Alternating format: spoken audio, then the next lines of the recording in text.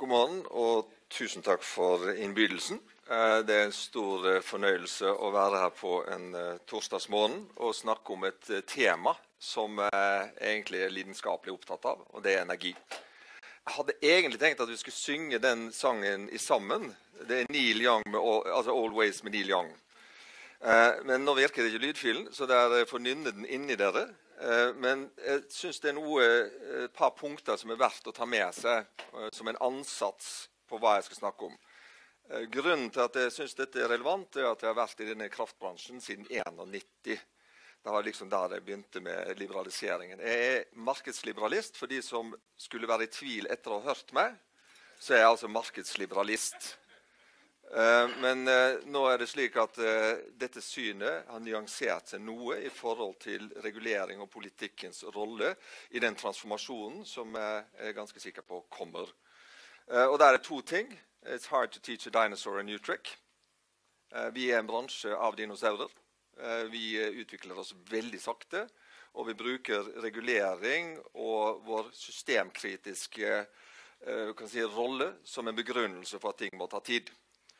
Eh, det andre er at hvis vi ikke evner å ta et skritt tilbake, så blir denne arven egentlig et lodd rundt foten. Og Det er den siste setningen. 'Always can be a ball and chain'. Og Derfor så tok jeg et skritt ut av eh, en operativ rolle for eh, to år siden. Og Grunnen til det var at de siste fem årene så hadde jeg en fornemmelse av at det, en ting var at vi var gjennom en veldig kraftig transformasjon. det skal jeg snakke om. Men det var et eller annet på teknologisiden som jeg hadde en følelse av at alle snakket om. Det var veldig mye PowerPoint, mye konsulenter osv. Men hva er dette? Hva er substansen i det? Så da tok jeg et skritt ut av en operativ rolle og har brukt mye tid i Halden. Jeg skal komme kort inn tilbake til hvorfor jeg har brukt tid i Halden.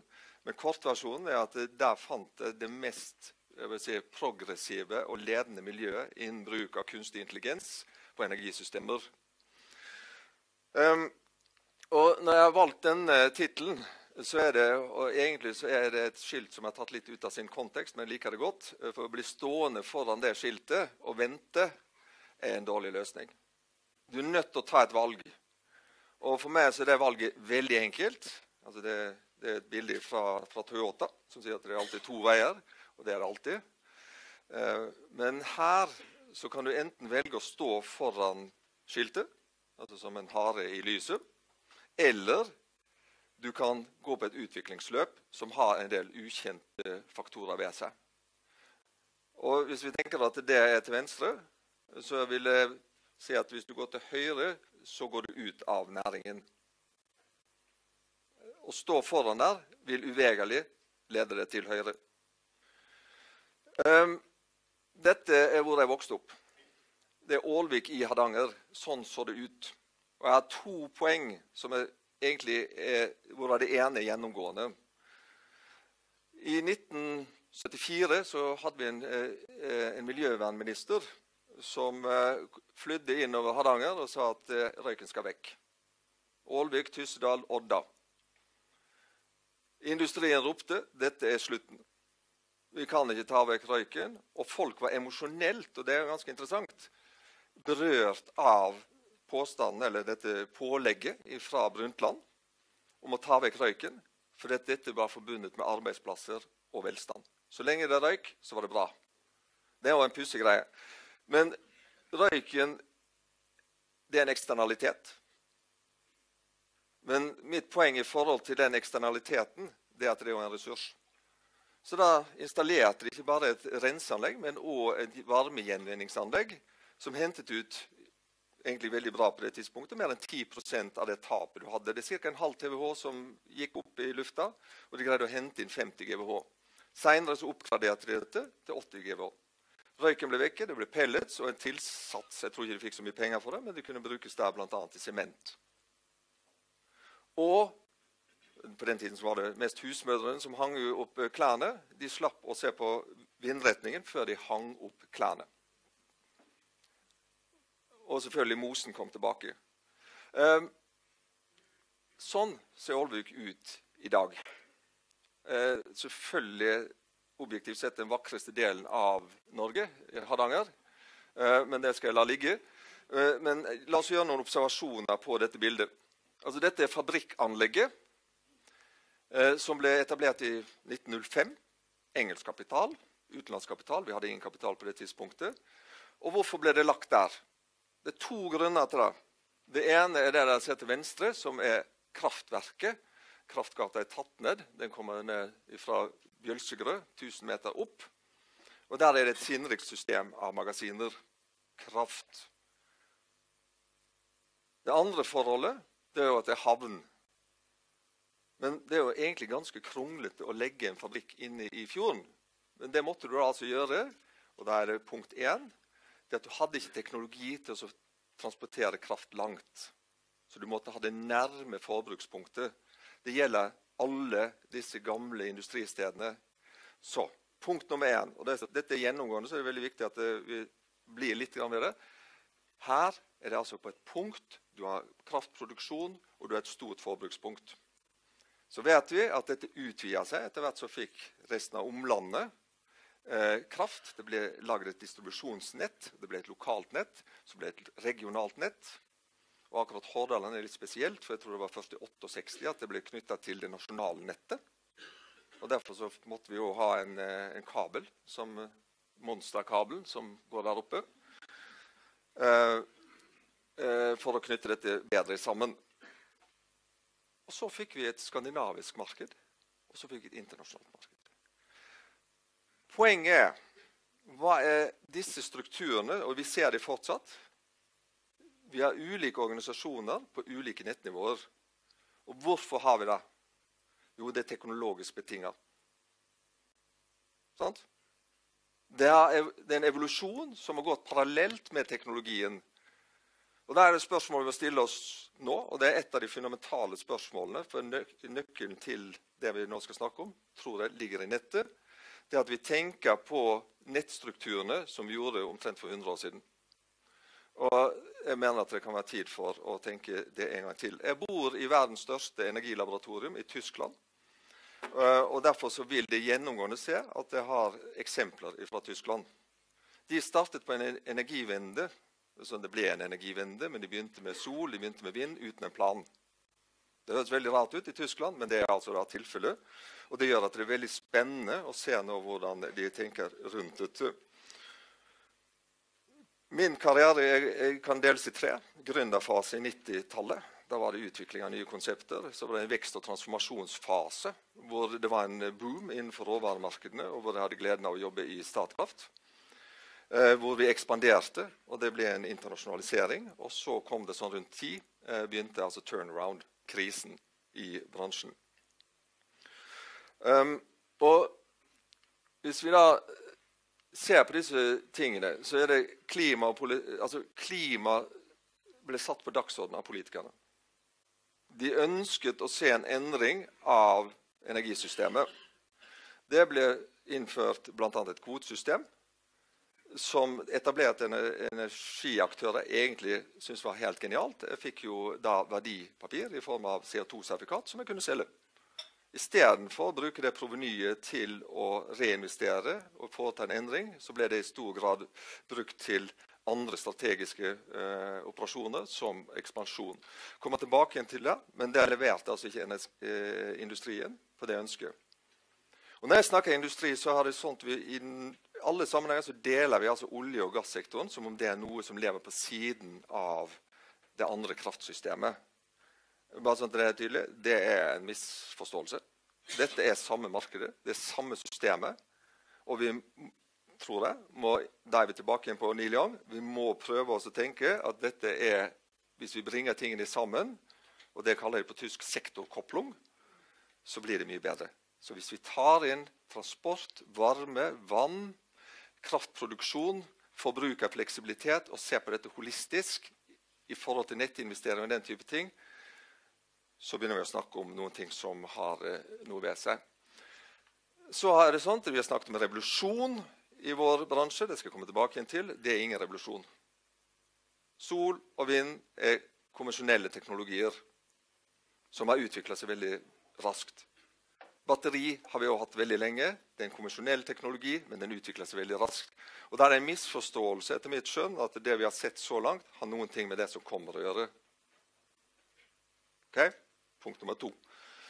Markedsregulering og design er et sentralt punkt for meg. Uh, og det er, at, og det er, det er viktig å presisere at jeg er en markedsliberalist. Men i dag er regulering den største hindringen for å ta i bruk nye uh, verktøy. Og det er da en veldig god beskyttelse for industrien per nå. Uh, og det skal jeg dvele litt ved senere. Så kommer jeg til det som er annonsert som hovedtema. Og jeg, å, jeg er økonom. Altså jeg kommer ikke til å prøve å forklare noen her om hva som er deep neural programming. og alle disse tingene. Men det jeg har brukt et år på, det er å prøve å forstå prinsipielt hvordan disse systemene virker, og hva kan jeg bruke dem til. Altså Jeg er jo økonom. Så jeg ser jo på dette som et verktøy. Og hvordan tror jeg at det vil transformere vår industri og mange andre industrier. Vi ser det innenfor finans, innenfor media, vi ser det innenfor delingsøkonomien osv. Um, så mitt fokus er altså ikke på teknologien as such, men hva den kan hjelpe oss med. Og så kommer redesignsbiten, som er et stort tema. Og Det er da tre deler, og jeg har fått uh, 50 minutter, og jeg er veldig glad for. Um, for det, gir i hvert fall fra mitt ståsted muligheten til å presentere etter mitt skjønn, en logisk, konsistent tankerekke. Eh, så jeg er glad for enhver uh, utfordring i forhold til det. Og det er tre deler. Uh, og det er denne disrupsjon. Og disrupsjon er et interessant ord, for det kan ikke oversettes til norsk. Og det høres mye mer ufarlig ut på norsk. Altså disruption. Disruptivt. Brukes på tysk òg. Det var jo forretningsord nummer én i 2015. Så hva betyr disruption? Hvordan skal det oversette disruption til norsk? Eller til tysk?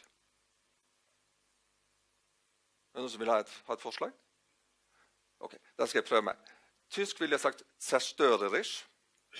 Det ødeleggende. Disruptivt høres mye bedre ut. Um, for det er ikke så voldsomt. Så bare begrepet i seg selv som vi slenger rundt oss, må vi da tenke gjennom. Hvis det er tilfellet, så er det ganske kraftig lut som uh, skal til. Um, og Jeg skal bare rase gjennom noen utviklingstrekk.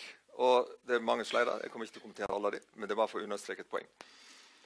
Uh, og så kommer da teknologibiten, hvor jeg mener teknologien er jeg tar hovedpunktene, så kommer jeg til å repetere dem.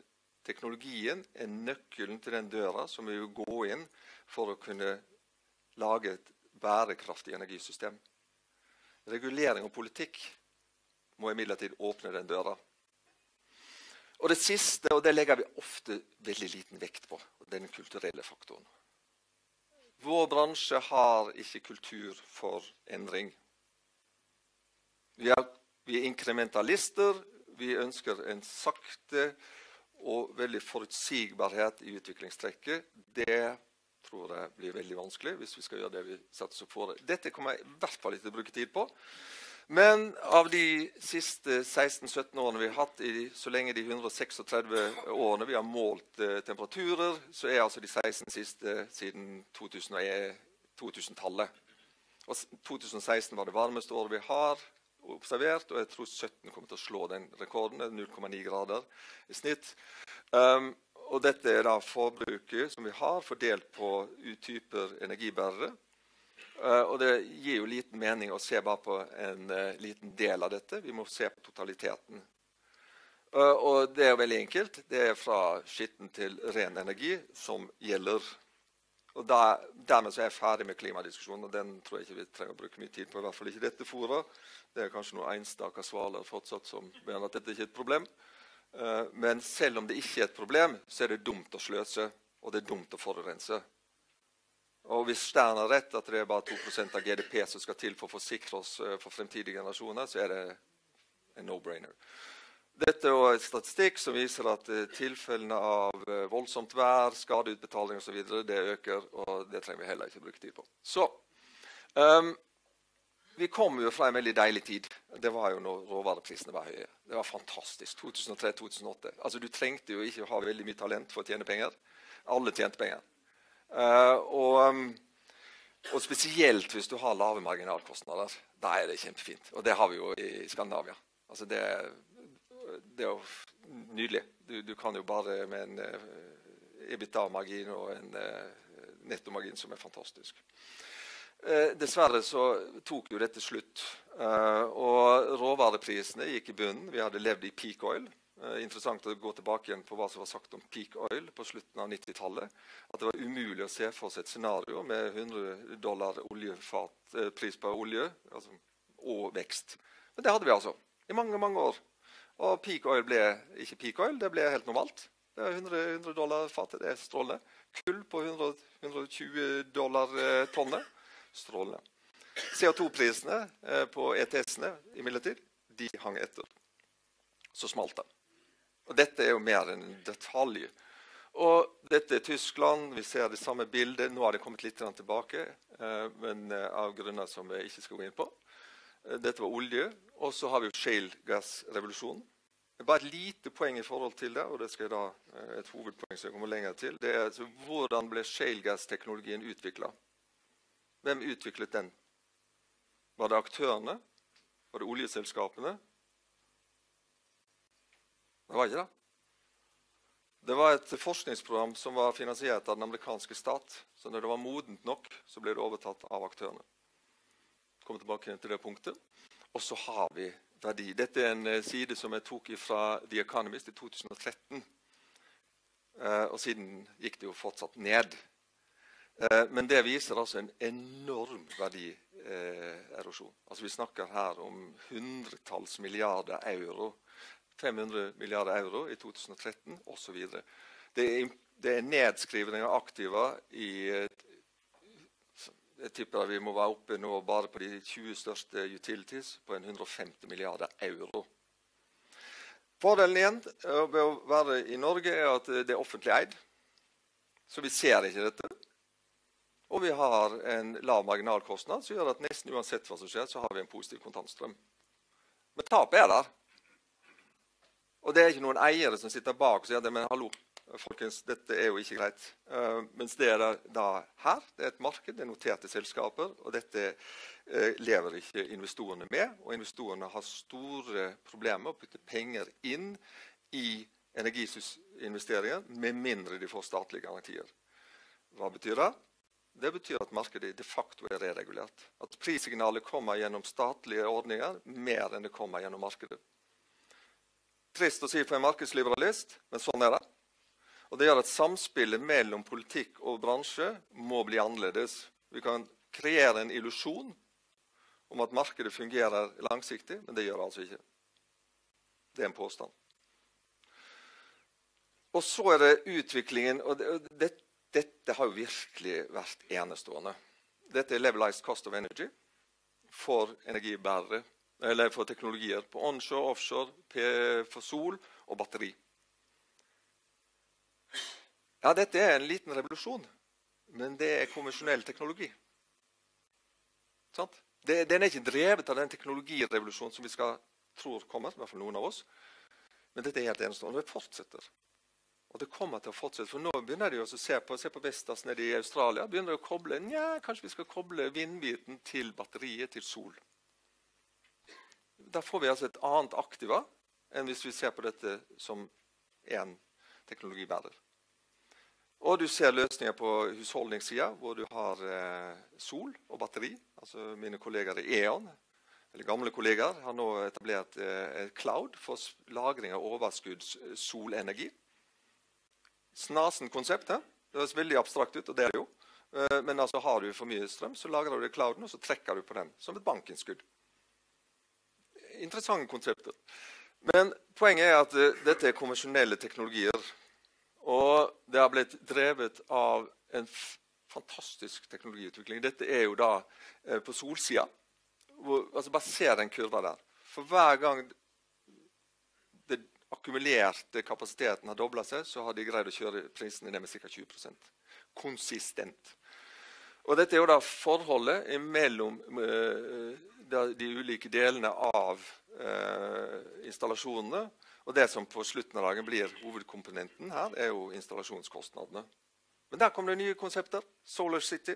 Si at ja, vi får bilde av huset ditt. Eh, vi tar det på Google, og så vi, eh, setter vi et par-tre timer, så installerer vi det, så er vi ferdig. På samme dag. Ferdig. Raskt. Har de mannskaper som kjører rundt i verkstedet sitt, slipper å ha oppmøtesteder, og er mobile. Men det er en annen historie. Det var for øvrig fra India. 100 000 altså megawatt, hvor de hadde tenkt å installere det fram til 2020. Og Kina er nå større på fornybar for øvrig enn den totale kapasiteten i Europa. Tyske skattebetalere deriblant meg, har vært med å finansiere dette og gjort det mulig at den utviklingen har skjedd. Den hadde nok ikke skjedd uten de sterke subsidiene som har vært. Um, og det som um, Ja, den der er egentlig litt viktig, men det skal gå fort. Dette er jo den markedslederen innenfor uh, offshore vind. Tidligere, altså det Ørsted, tidligere Dong. Og det var ingen som trodde at de var ved sine fulle fem i Vattenfall når de bydde inn 49,9 euro per megatime i en auksjon i fjor, altså i 16. Og så ser vi altså i 17 da går inn store prosjekter så vi trenger ikke subsidier. Vi tror at vi skal få til dette uten subsidier. Det betyr at det er sånn I forhold til grid parity så er disse teknologiene i hvert fall i henhold til uh, mange aktører, er allerede der. Men veksten er formidabel, og det har altså slått inn som en kjempetsunami inn i prisbildet. Eh, og det som er verdt å ta med seg, det er tilbake igjen til Neil Young, eh, det er at på 2000-tallet så syns vi jo at vindmøller var en utrolig upraktisk måte å lage strøm på. Det var mye ræl, litt eh, ikke kunne styre, og den etablerte industrien tok ikke det på alvor. Sol vi satt, Hvor mange var gjennomsnittlig antall timer i Tyskland med sol? Vel, det talte vi, da. Det, det gir jo ikke mening å installere sol i Bayern. Ja, Det er kanskje 1200-1300 timer. Snittet i Tyskland er 1150, så vidt jeg husker. Men det gjorde de nå allikevel, da. Og dette oppdaget du først når kurvene endret seg. Lastkurvene og priskurvene endra seg. Det var 2006-2007. Da var det jo plutselig 20 000-30 000 megawatt sol. Men vi lo jo av og, og batteri, Hvis noen hadde snakket om batteri for 15-16 år siden Glem det. Altså Her snakker vi store tall, gutter eh, og jenter. Eh, dette, dette, er bare helt ubrukelig. Eh, vi, vi, må ha gass, vi må ha kull, vi må ha kjernekraft osv. Ja, nå er det blitt et tema. da. Um, og dette er jo et interessant uh, Hvor tror vi at det blir bedre? Selvfølgelig I en transisjon som vi gjør nå, så må du bygge opp en overkapasitet. Dette er en stack som viser installert kapasitet i Tyskland. Den er på 203 000 megawatt nå. Den røde linja, og den er sånn cirka, uh, så vidt jeg har brakt i erfaring, så er 85 000 megawatt den høyeste lasten som er målt i Tyskland. Okay? Og spisslasten din, eller topplasten den begynner sånn rundt 60, så 65-70 begynner du å snakke om litt sånn topplast. Hva leser vi ut av det? At det mest sannsynlig er overskudd i de fleste timene i Tyskland på kraftsida. Og Det er en uvegerlig konsekvens av den endringen du tar. Det gjør at pumpekraftverk, gasslager altså den som vi økonomer sier extrinsic value, er null. Altså Du får ikke betalt for fleksibiliteten din. Og Så kommer det en utfasing av kjernekraft, av kull osv., som gjør at dette bildet selvfølgelig vil endre seg. Så her har jeg samla en del bilder, og nå har dere allerede sett at jeg har kommentert noen av dem. Det er oppe til høyre for øvrig den første oljeeksporten fra eh, USA. Det var da nyttår tror jeg, 2016. Eh, det var da Sist gang det skjedde, var i 75. Og hvem hadde for 15 år siden trodd at USA skulle bli selvforsynt, sågar en eksportør, i 2025 av fossilt? Opp med en hånd. Ja, det var omtrent så mange som jeg trodde. Det var ingen. Um, men det har altså skjedd. Så det har en veldig stor påvirkning på markedet. Men et par ting som jeg ikke har nevnt, det er elektromobilitet. Og det er desentral produksjon. Og så er den lille tassen der oppe, som er måler. I 2013 ble det foretatt en undersøkelse blant nettselskapene i Norge. Hva syns dere om å investere i smarte målere hos kundene? Er det noen som husker hva nettselskapene sa den gangen? Vel, 85% mente at det var helt unødvendig. 85 Og Da er jeg inne på et punkt som jeg da egentlig har flørtet med så langt. Det er at ingen av disse utviklingstrekkene er drevet fram av bransjen. Ingen. Det er eksogent. Sant? Så alt det som treffer oss nå, det tar vi bare imot.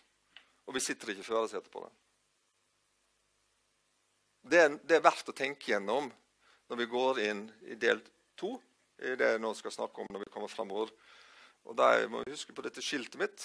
Går vi til høyre, går vi til venstre, eller står vi bare og ser på det, og så venter vi på at et eller annet skjer? Eh, det kan en gjøre.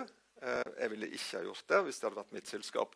Og bare for å understreke hva dette har betydd for selskaper, og da skal jeg, dette er offentlig informasjon eh, og dette er da, nå kommer litt tysk inn her, men Det er egentlig ikke så viktig, det er en illustrasjon.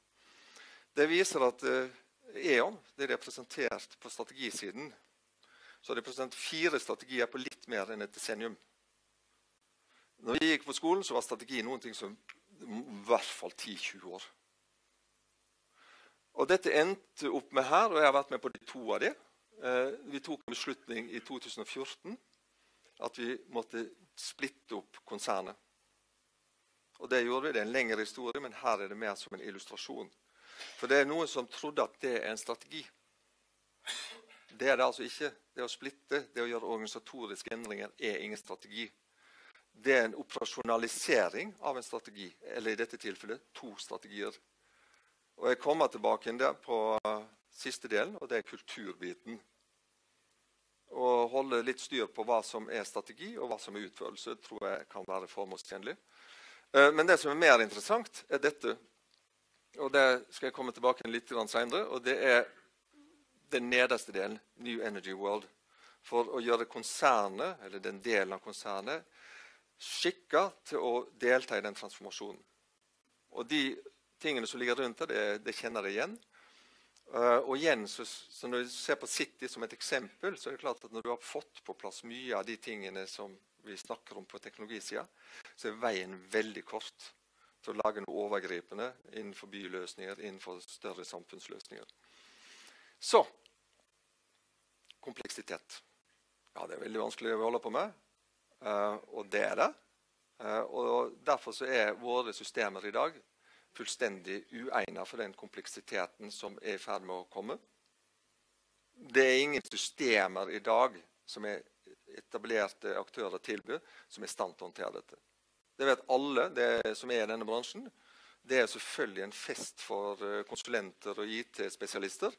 Som å sitte og skru hver gang du skal gjøre en eller annen endring. Så må du ha et sånt team inn Sant? Og dette er så vanskelig. Selv om systemet åpenbart er for dårlig til å håndtere det du ønsker at det skal gjøre. Det er kanskje litt bedre etter at det er vært der. Og så har du en bransje som har en interesse av at uh, inntektene på de lisensene de har, løper lengst mulig. Så de får tid til å lage nye systemer som kan fase inn. Så det ligger altså en strukturell eh, forsinkelse i dette. Jeg har jobbet med IT-systemer innenfor kraftbransjen. Det er derfor jeg har denne årsveisen, for øvrig. Um, I 25 år. Uh, og det er jo et mareritt. sant? Og gud bedre hvor mange år vi brukte på å sende ut en halvveis fornuftig regning. Sant? Altså de, de, fleste får til det, men det hadde vi altså problemet. Nå er jeg veldig sånn selvkritisk, men jeg syns det er grunn til å ta et skritt tilbake og se på de tingene vi ikke har fått til. Vi har fått til mye, men dette har vi altså ikke fått til. Det er helt avgjørende for hvor meningsfullt det jeg sier, eh, hva dere tror om dette. I Tyskland så innførte de da Energi 4.0. Industri 4.0, unnskyld. Og Hvilket årstall var det? Vi gjorde det i Norge tror jeg, i fjor. Så har vi Norge 4.0, tror jeg. eller noe sånt. Det var i fjor. Dette var i 2011.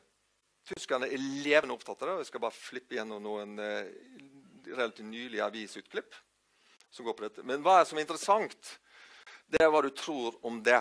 Og dette høres fryktelig vanskelig ut. Det er det. Men de løsningene de tilbyr, er enklere enn det vi har i dag. Og det er systemer som trives og blir bedre og bedre jo mer komplekst det er. I motsetning til dagens systemer, som er en forenkling, en replikering, og prøver å gjøre verden tilpasset organisasjoner.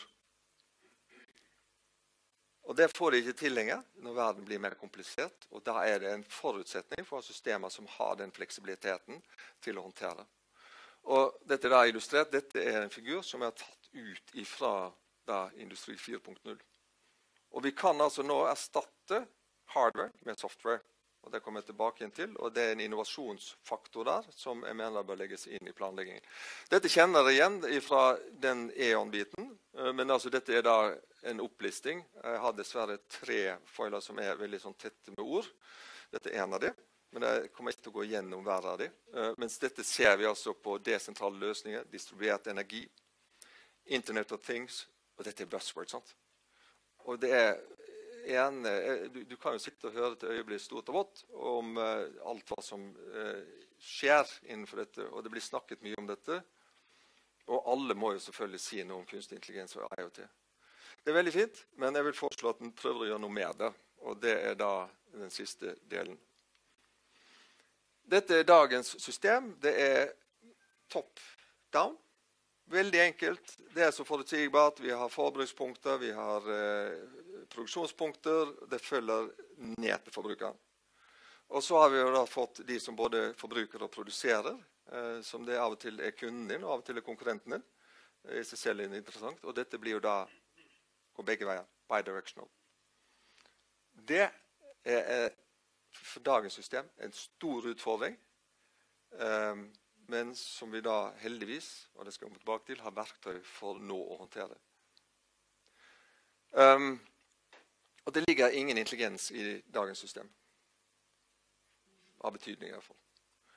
Uh, og det gjør at vi prøver å få til dette veldig komplekse systemet med det som var i og for seg et veldig mye enklere system.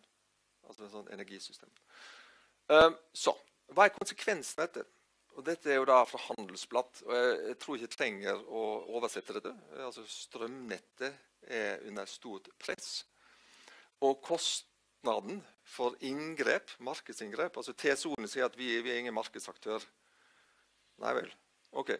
Tennet brukte 1 milliard euro på markedsinngrep i 2017. Tyskland og Holland. Det er markedsinngrep. TSO-ene er altså De sentralnettsoperatørene er markedsaktører enten de vil eller ikke. Um, grønn strøm, dyr strøm. Og Da er vi på et annet hovedpunkt. En transformasjon inn mot et fornybar, bærekraftig system blir prohibitivt dyrt. Med mindre vi bruker en helt annen tilnærming enn det vi har hatt før. Det fordrer altså at stakeholders som normalt sett sitter og sender brev til hverandre, og istedenfor å jobbe tett sammen, de må begynne å jobbe tett sammen. Og jeg kommer tilbake til rollen til politikere og regulatorer senere. Og strømmer, altså Disse kurvene viser jo at det går opp. sant? At kundene må betale mer og mer. For nettutbygginger, for nettinngrep, for eh, altså markedsinngrep. Um, og for subsidiene. Kom en veldig interessant at, uh, rapport hvor uh, det tyske energi, uh, unnskyld, Industriforeningen hadde i samarbeid med BCG lagt altså, en, en vei mot klimamålene Eh, i 2050. Det er mange interessante ting der. Altså, selvfølgelig så er det jo prøvd å gjøre noen anslag på, på hvor mange eh, varmepumper vi har. Ja, Ca. 11 millioner. Eh, hvor mye overledningsnett må vi ha på veiene? 4000 km av de 13 000 km osv. De har prøvd å brekke den ned. Og Da sier jeg at det er 1,5 billioner, altså det er vel trillions da, eh, på, på engelsk, det er ganske mye penger, må til for å nå 80 %-målet, eller 80 uh, reduksjon i 2050. Og så blir det eksponentielt. For å nå 95 %-målet så må det opp i 2,3 billioner. Det som er interessant, er at denne foreningen sier at det, det første scenarioet det får vi til. Det kan sågar ha, ha null implikasjon sånn som de analyserer det, i forhold til veksten i, i bruttonasjonalprodukt. Og det vil sannsynligvis ha ganske mange positive virkninger på, på, på, næringslivet. Det er interessant at det kommer fra denne foreningen. Hvem hadde trodd det for en tid tilbake? Dette er vel egentlig fra Norsk Hydro, uh, som gjør mye. Uh, bare for å bli siden jeg har dette bildet, jeg hadde egentlig brukt det poenget senere, men dette er jo kjent med aluminium kan du ikke røre. For Hvis du tar og regulerer aluminium, så går strømmen der, og så størkner det. Så må du hakke ut alt innenfor disse cellene. Der ser jeg Trimet. som er, altså, Trimet er en aluminiumsprodusent i Tyskland. Så sammen med Hydro bruker ca. 2% av strømmen i Tyskland. Har lagd en prototype hvor de kan kjøre opp lasta på de der med 25% opp og ned i løpet av sekunder. Så bare sånn i forhold til hva som, hva som skjer på teknologisiden, hva som drives fram For de ser jo da at å, vi har negative priser i perioder. Ah, fantastisk! Jeg får betalt for å ta last. Og så er det plutselig for det er volatilitet der på enkelttimer. Og hvis du evner da å utnytte det, så sier de at hm, dette gir jo mening. Um, så det som må inn her, er det hodet. Og det hodet, det er altså teknologibiten. Og tenk dere da Og det gjør vi, det, det, og disse løsningene i dag.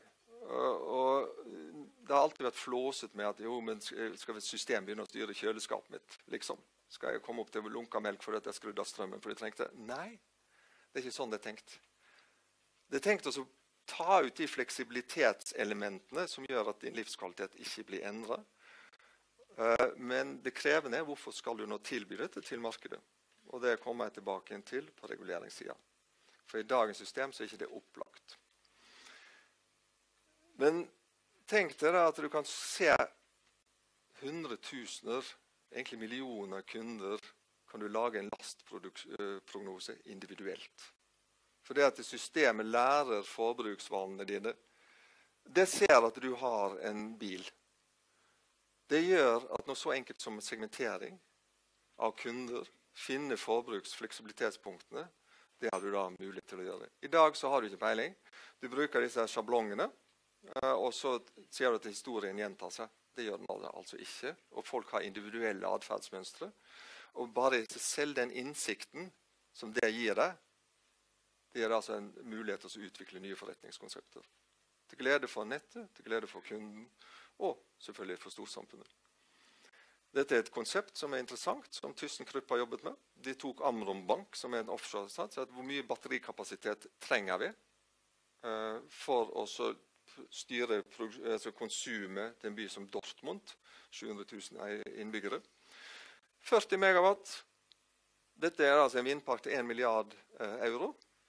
De tror, og det er det de sikter på, at dette skal, skal de få til til en prislapp på 50 millioner euro med tilleggssatser teknologisida. Gitt at du greier å styre dette på en mer optimal måte. 50 millioner euro på en milliard euros investering høres ikke så helt uh, galt ut, uh, forholdstallet. Så det som skjer nå, det er at vi knytter de sammen, disse tingene. Og vi kan optimere det. Nå har jeg lagt inn uh, Googles Nest. og Det er jo interessant. Google har hva de med energi å gjøre. Og det er jo det som selvfølgelig skjer. Det, at det, er en, en industri, bransjemigrasjon. Det er ikke bare en verdikjedefragmentering, men det er også en bransjemigrasjon. Ned til venstre det er den organisatoriske biten, og det skal jeg komme tilbake igjen til. Uh, og det er jo hvordan organisasjonene i hvert fall vi må tenke rundt hvordan skal vi gjøres i stand til å bruke denne fleksibiliteten. Halden. Hvorfor har jeg nå havnet i Halden? Um, og Det må være en av de best bevarte hemmelighetene. For jeg visste i hvert fall ikke at det var investert så mye innenfor dette området i Norge. i det hele tatt. Men der er det altså gjennom 26 prosjekter så langt samla inn 135 millioner euro. Så da ble jeg jo hengende i Halden da, uh, og se på dette. Og er da tilknytta uh, eh, NC uh, eh, Smartmark. Og, det som er, det, og dette er helt i spissen. Altså, jeg, jeg, vet jo ikke alt som finnes i verden, selvfølgelig, men jeg har vært høyt og lavt for å finne noen som har operative løsninger som vi kan ta i bruk i dag. Og Det er forskning og utvikling som har hatt et klart formål for å løse et problem. De har kjørt 10 000 smartmålere i Hvaler i mange år. De kan ta ut forbruksfleksibilitet. De jobber med microgrids, med elektromobilitet, med bygningsstyring, og knytter dette sammen. Det er jo selvfølgelig områder hvor det er utviklingsløp. Det er intelligente droner som bruker til uh, inspeksjon av linjer.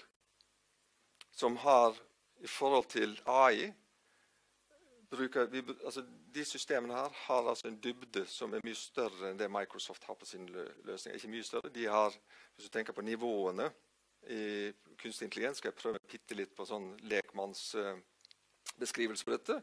Mens dagens kraftigste maskiner de greier tre nivåer med kunstig intelligens. Altså levels, som de kaller det. Da begynner det å herke. Når disse dronene flyr rundt og ser på linjeinspeksjonene, så bruker de 162. Det går sånn. Enorme mengder data som fôres inn. Tenk deg med de dataene. Jo, da får jeg feilmeldinger. Ja, kan jeg koble det til uh, lagrene mine? Hvor har jeg disse komponentene? Hvor jeg, kan jeg koble til HR-systemet? Hvor har jeg arbeidsstyrken min? Jeg kan koble til innkjøpssystemet. Ja, det manglet denne komponenten. Da genererer jeg en ordre. Og dette legger seg da på toppen. Det suger ut informasjonen og kobler den på en, altså en helt annen måte enn det vi har sett før. Og det er store prosjekter som de har fått, og det er jo veldig mye EU-midler som har gått inn her. Overraskende mye EU-midler. Og da er jeg inne på å prøve igjen som en legemann å beskrive hva som skjer der borte. Det er der vi er i dag. Det er strukturerte data, det vi kan håndtere. Her borte så er det strukturerte data, semistrukturerte data, ustrukturerte data, som vi bruker da altså ny teknologi på å skape mening ut av og beslutningsunderlag. Og Det er altså en bro som bygges. Det betyr at vi trenger ikke å kaste ut alt det vi har. Vi kan holde stabiliteten vi har i et backup-system, men vi bygger noen ting på toppen. Og det, det, det, tror jeg er en veldig viktig sånn misforståelse, eller en viktig poeng i hvert fall og hvert fall for meg som har jobbet med IT-systemer. det at det var liksom, Nå jobber vi med et prosjekt, og så kutter vi en dag, og så kjører vi inn nye. Og det er jo som IT-systemer. det at Når du har gjort 90% av jobben, og du brukte opp hele budsjettet, selvfølgelig, så koster de 10 prosentene like mye, siste prosentene like mye som de første 90. Eh, og det tar mye lengre tid. Um, dette er altså en litt mer fleksibel tilnærming. Gir dette mening? Ok, Da går jeg videre. Uh, og Dette er da eksempler på, på løsninger som eksisterer. Um, og jeg har vært inne på last. Uh, og det at vi kan gjøre det individuelt, er et utrolig stort fremskritt. Segmentering i seg selv. Som sagt, du kan ikke segmentere basert på månedsverdier. Det går ikke, det. Ja, Du kan få vite hvor mye du bruker, men ikke hvordan du bruker det. Og Det gjør at du kan eh, styre nettet mye bedre. Risk-delen er at du har sensorer der ute. At du vet hva som skjer altså på frekvensstyring, frekvensnivåer. At du har tiltak som du kan sette på nivå under transformatoren. Som du kan optimere enten i forhold til fysiske beskrankninger eller og eller pris. Det gir altså muligheten til at systemet autonomt griper inn så det er, ikke, det, det er, ingen telefon som går til en driftssentral at nå har vi transformator X i ferd med å bli overbelastet. Det, det, det, trenger du ikke. Det gjør systemet selv. Det har tilgang på fleksibilitet. Da må jeg over på et tema. Det, nå er ikke, Den er hentet ut fra kraft til endring. Uh, jeg syns den er så fin. For det, jeg skulle ønske det var slik. Uh, men det er blitt litt verre. Og nå kommer det en fryktelig feil. Det må jeg bare advare mot. Og det er lite men det, Og jeg skal bare ta et par av de. Men vi har jo noen trosetninger i vår bransje. Og dette tror vi på. Og jeg måtte jo da selvfølgelig lage ti. Uh, og da er spørsmålet mitt Og jeg sier at alle disse er feil, men jeg syns det er legitimt å stille spørsmål ved det. Energi som et knapphetsgode har vi hørt der. Fleksibilitet har en verdi. Um, Europa og Norge er komplementære. Sant? Ja, Europa har altfor trege sånn eh, kraftproduksjon. De har altså lang energi, short kapasitet. Det er motsatt i Norden. Nei, ikke det. Nå er vi lang eh, kapasitet eh, samtidig, og vi er delvis short. altså Det er et helt annet mønster. Um, hvem som eier kundene, er jo et stort tema, selvfølgelig. Det er jo kundene som eier seg selv, eh, etter mitt skjønn. Men eh, kjernekompetanse osv. Det som jeg vil trekke eh, inn, er de to der. Måten vi tenker regulering på. Regulering skal tilpasses markedet. Og det er Da er det viktig å minne om at det er markedsliberalist, men det funker jo, kommer ikke til å funke. Regulering må drive markedet. Og hvorfor skal jeg ta helt på tampen. Og de store forandringene de skjer gradvis og tilpasses og De gjør ikke det. Eh, og det kommer inn aktører som ikke tenker slik i det hele tatt. Eh, og Derfor vil jeg minne om dette. Er det noen som kjenner igjen det, det eksperimentet? Perceptual blindness, hvor gorillaen kommer inn. og du sitter og teller hvor mange ganger de kaster ballene. Og det, det er mer med trosetninger. da. Og Det er derfor Neil Young er veldig viktig. Det er at Vi sitter og følger med på ballen, og så kommer en gorilla inn. Og faktisk så er det, og det er teknologi, gjerne, men det er en veldig snill gorilla, for vi kan bruke den til noe nyttig. Eh, det jeg er litt mer usikker på, er disse andre gorillaene som kommer inn med veldig mye dypere lommer. En annen risikotoleranse. Og i og for seg en annen kultur, og det er oljeselskapene. Og der ser vi at de, Foreløpig er det en fraksjon av balansen deres. Men gud bedre hvor mye sobalanse de har. Um, og derfor så, og Nå er jeg i ferd med å gå inn for landing. og Det er disrupsjonselementet. Det kjenner jo Schumpeter, kreativ ødeleggelse, men han brukte aldri ordet disrupsjon. Han beskrev den transformasjonen, altså kreativ ødeleggelse, det er noe som skjer innenfra. Og nå er det altså disse eksogene faktorene har jeg snakket om. Nå er det de endogene. Og da er vi inne på kultur og gjennomføringsevne. Uh, og dette skal jeg gjøre veldig kjapt. Uh, men igjen, hvis jeg kan oppmuntre noen til å tenke litt gjennom hva vi lærte på Handelshøyskolen for noen av oss, uh, om transaksjonskostnader. Derfor eksisterer organisasjonene. De blir satt under press. Dette må jeg bare si. Denne tankerekken, sekvensen som vi tenker rundt planlegging, ble etablert i, minutter, ja, i 62 av en historiker, Chandler, som hadde studert eh, selskaper, vellykkede selskaper på 1920-tallet, og det er inspirert av militær tenkning. Poenget er i hvert fall at her er systemene en residual. Disse systemene som vi i dag har, må flyttes fram. Du må organisere rundt systemene. Da fungerer hierarkiet veldig dårlig. Professor Hamill har pekt på dette. Og da fungerer ledelsesmønstrene våre og relativt dårlig. Det må ledes og kulturelt sett, altså ledes på en annen måte, og ledelse er jo kultur. Uh, og de andre punktene har jeg egentlig da allerede berørt. Ja, um, ja enorme innsparingspotensial. Jeg må hoppe over. 140 milliarder i Norge uh, i nettinvesteringer. Det er et tall som er aggregert opp på gammel viten. Det er ingen innovasjonsfaktor inni der. Og min påstand er at uh, det tallet er 30-40 milliarder for høyt. Det vil være stranded. Bruk teknologien, bygg inn innovasjonsfaktoren og ta det tallet ned. Og Det ser vi allerede av den empirien vi har. OPEX, altså driftskostnader, går ned uh, i størrelsesorden 20 CapEx kan du ta ned, altså investeringene med 30 uh, Ubalanse med kanskje så mye som 50 i det hele tatt. Det ligger et stort potensial. Og disse punktene det oppsummerer det jeg snakket om, fra da, top, top down til bottom up. Regulering.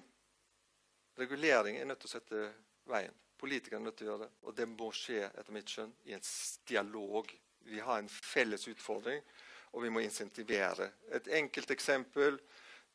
Hvordan skal jeg få i Norge tilbake til de 140 milliardene, hvordan skal jeg få en sluttbruker til å stille kapasiteten sin på fleksibilitet til disposisjon når det ikke er prisforskjeller? Nei, det vil den ikke gjøre.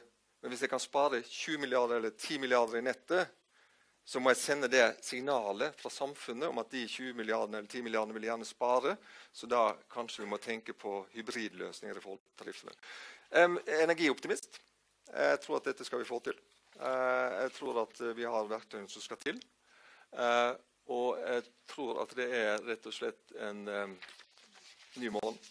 Det høres litt sånn nyfrelst ut, jeg vet det. men eh, jeg har veldig tro på dette. Eh, for det gjør at jeg har også eh, tro på at vi skal få til å lage et bærekraftig system.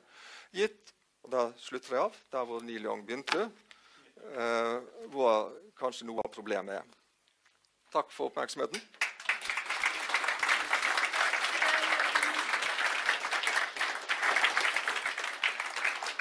Tusen takk til Jørgen Kildahl. Og det er jo ikke så veldig ofte man finner en innbarka markedsliberalist som higer etter flere reguleringer. Så takk skal du ha. Eh, du skal få lov til å kommentere etterpå og få flere spørsmål eh, da vi skal ha samtalepanel. Eh, Klimastiftelsen arbeider mye sammen med NTNU, NHH, og Cicero og Bjerknessenter for klimaforskning, Universitetet i Bergen. Eh, og veldig mange av de andre kunnskapsinstitusjonene i Norge. Og eh, de fleste av de sitter i rådet vårt. Og et av de nyeste medlemmene som kom inn i rådet vårt, det var Universitetet i Agder. Derfor veldig stas å ha en person derfra i dag, så du kan bare komme opp, og du må skru på lyden din, har jeg fått beskjed om. Eh, Bernt Viggo Matheussen. Du er da forsker, og du jobber både ved Agder Energi, og så jobber du også på Universitetet i Agder. Og um, Du holder på med et uh, forskningsprosjekt nå uh, som, uh, der du skal forsøke å finne ut hvordan framtidas vannkraftproduksjon skal kunne styres av datamaskiner. I håp om at man da i framtida kan få eksakte viten om når det lønner seg å produsere og selge og alt dette. Det skal du innlede om, så vær så god. Takk. Er lyden på?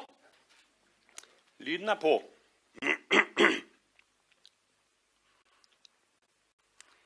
Dette er en pinne.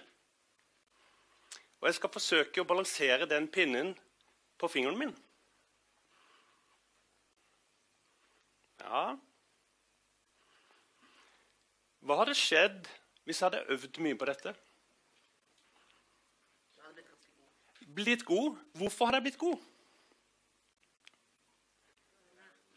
Lært noe? Ja. Jeg hadde prøvd og feilet mye, og så hadde jeg memorert hva jeg måtte gjøre. Og jeg hadde fått feedback gjennom hånd og øye, sånn at jeg kunne alltid ha den beste løsningen klar med en gang. Dette er prinsippet bak en metode som jeg anvender til å styre et vannkraftverk. Det skal jeg fortelle litt om nå.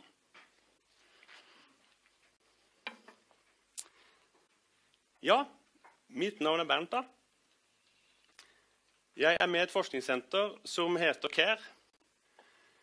CARE det betyr Center for Artificial Intelligence Research. og Vi er lokalisert ved UiA. Vi er over 20 forskere professorer og ph.d.-studenter som jobber med å utvikle og anvende kunstig intelligens til å løse en rekke problemer. Er du interessert i eh, hva vi holder på med, så kan du ta en titt på vår webside. Ved siden av mitt arbeid ved CARE så jobber jeg også i Agder Energi. og Jeg har bakgrunn fra akademia. Jeg har jobbet over 20 år med å utvikle datamodeller eh, til bruk i vannkraftrelaterte problemstillinger.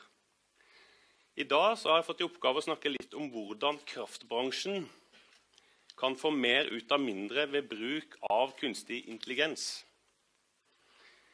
Eh, skal du svare på dette spørsmålet, så velger jeg å bruke litt tid på å si hva AI er for noe. og Hvilke muligheter det gir oss. Jeg så eh, tidligere Han som prata før meg, hadde noen momenter der, men eh, jeg kan kanskje ta litt, det også. Dette er komplisert, og vi har ikke mye tid, men jeg skal forsøke å gjøre det på en så enkel måte som mulig. Deretter skal jeg fortelle litt om et forskningsprosjekt som vi har da, hvor vi forsøker å bruke maskinlæring som er noen teknikker innenfor kunstig intelligens, til å finne ut hvordan vi skal gjøre den der kraftoptimeringsjobben. Jeg skal komme litt inn på det hvis ikke dere kjenner til hva det egentlig betyr for noe.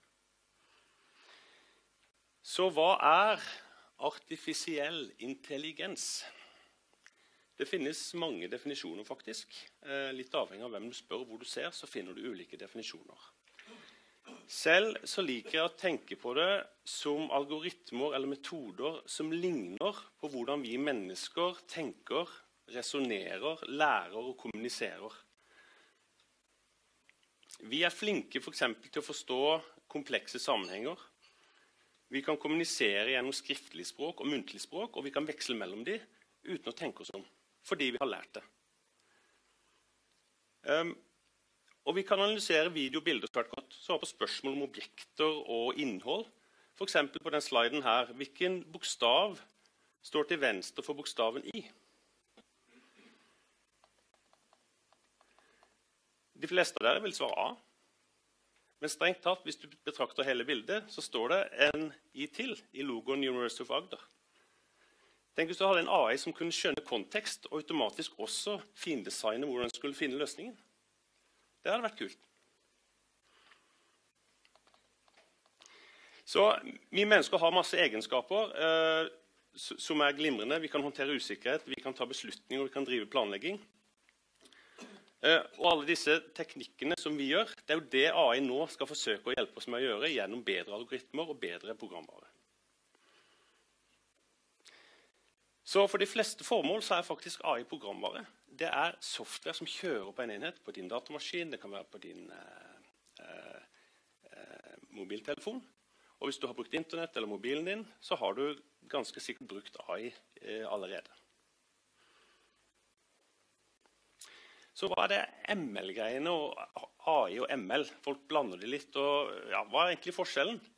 Maskinlæring er egentlig bare en undergruppe av de teknikkene du finner innenfor kunstig intelligens. Og disse teknikkene kan du igjen dele inn i tre eh, områder som alle har med læring å gjøre. Det er læring med såkalt fasit. Det er læring hvor du ikke har fasiten. Og så er det den metoden som jeg viste deg først. Læring med prøving og feiling og memorering. Så det er egentlig byggesteinene i maskinlæring. Sentralt for disse står selvfølgelig da disse neurale netta som alle snakker om. Og hva er det for noe? Jo, Det er bare sånne enkle byggeklosser som bygger sammen i sånne komplekse nett. Og de har vist seg å ha en sånn kjempegod evne da, til å lære disse sammenhengene veldig bra.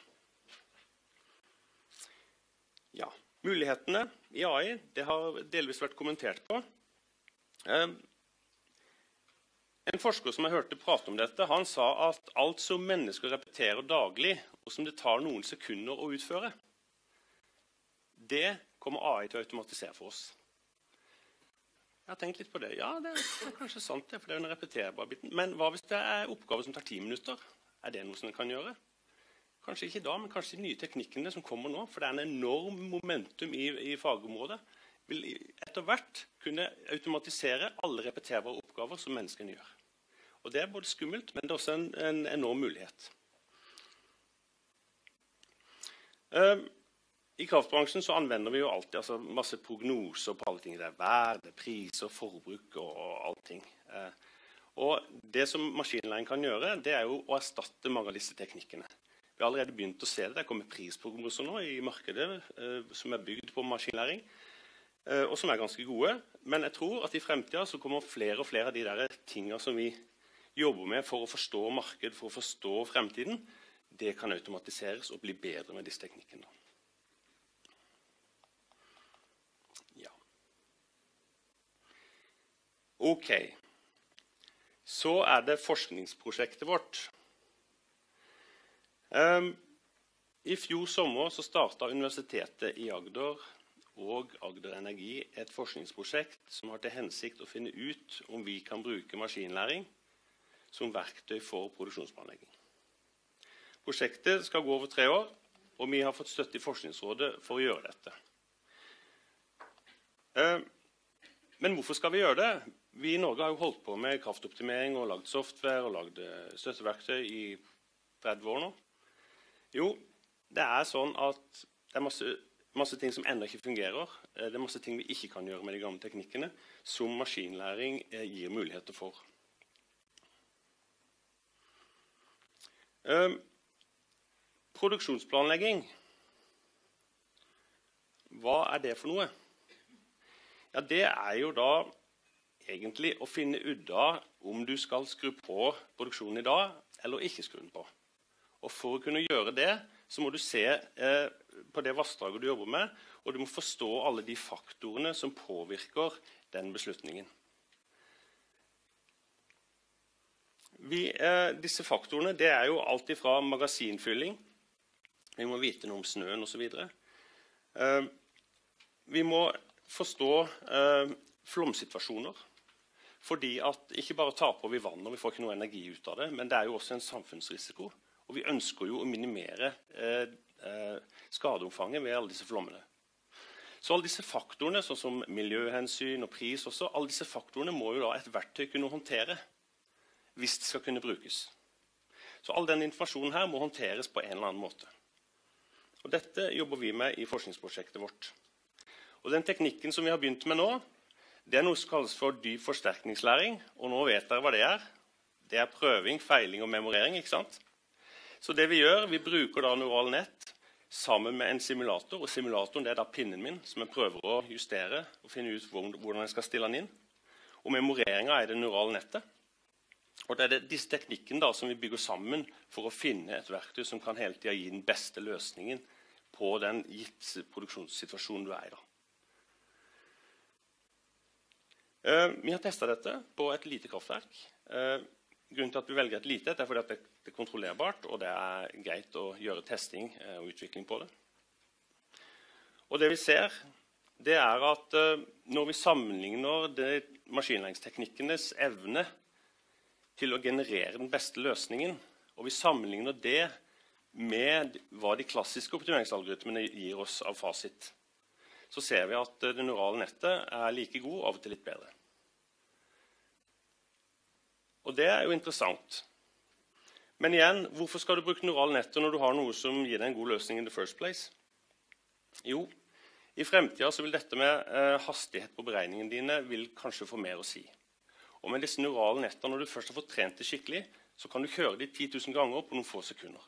Så alt som har med usikkerhet å gjøre, alt som har med scenarioanalyse å gjøre eh, Hvis du skal operere et marked hvor du må ha en prognose i løpet av et sekund eller to, så kan du faktisk kjøre 10 000 simuleringer sånn. Fordi at alle beregninger er gjort på forhånd. Og Det er det som er oppsida med disse teknikkene, at de åpner opp en helt ny verden for oss i måten vi kan tenke i forhold til å anvende denne kunnskapen i en praktisk situasjon, konkret i en verdikjede, sånn at det faktisk er noen mennesker som kan generere ekstra verdier med teknikken. Og Det er det som egentlig er mitt poeng her. at Vi har teknologi, men vi må ta det ned i verdikjeden. Vi må være helt konkrete på hvordan vi skal bruke den, og hvordan vi skal egentlig eh, tjene penger på å forsvare at vi skal jobbe med det. Og Hvis du klarer det på samme måte som vi har gjort litt nå, på alle de andre områdene også, Vær konkret, gå nøyaktig ned i verdikjeden og finn ut hvordan du skal gjøre det. Da har du en edge. Ja. Ok. Um, prosjektet uh, Vi har jobba i seks måneder med det. det. Det er veldig spennende resultater vi har fått. Vi skal jobbe videre. Vi skal modellere mer komplekse systemer. Vi skal teste andre eh, kraftverk enn Kvinesdal osv. Og, så og gjøre scenarioer. Ja, det er en hel rekke ting vi skal gjøre. da. Men eh, foreløpig er vi litt gira. Vi jobber med en paper for å få ut det her nå. Eh, men vi syns det har vært eh, en overraskende god start på, på prosjektet. Hvor, og vi ble overraska selv når vi så hvor kraftfullt dette her var. OK. Da tror jeg jeg sier tusen takk.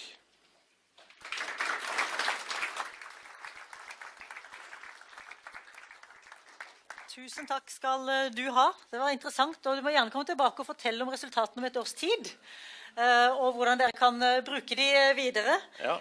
Du eh, blir sittende her, så hvis ja. noen vil snakke med deg, så kan de ta kontakt med deg etterpå. Eh, takk for kunnskapsdeling både fra deg og Jørgen.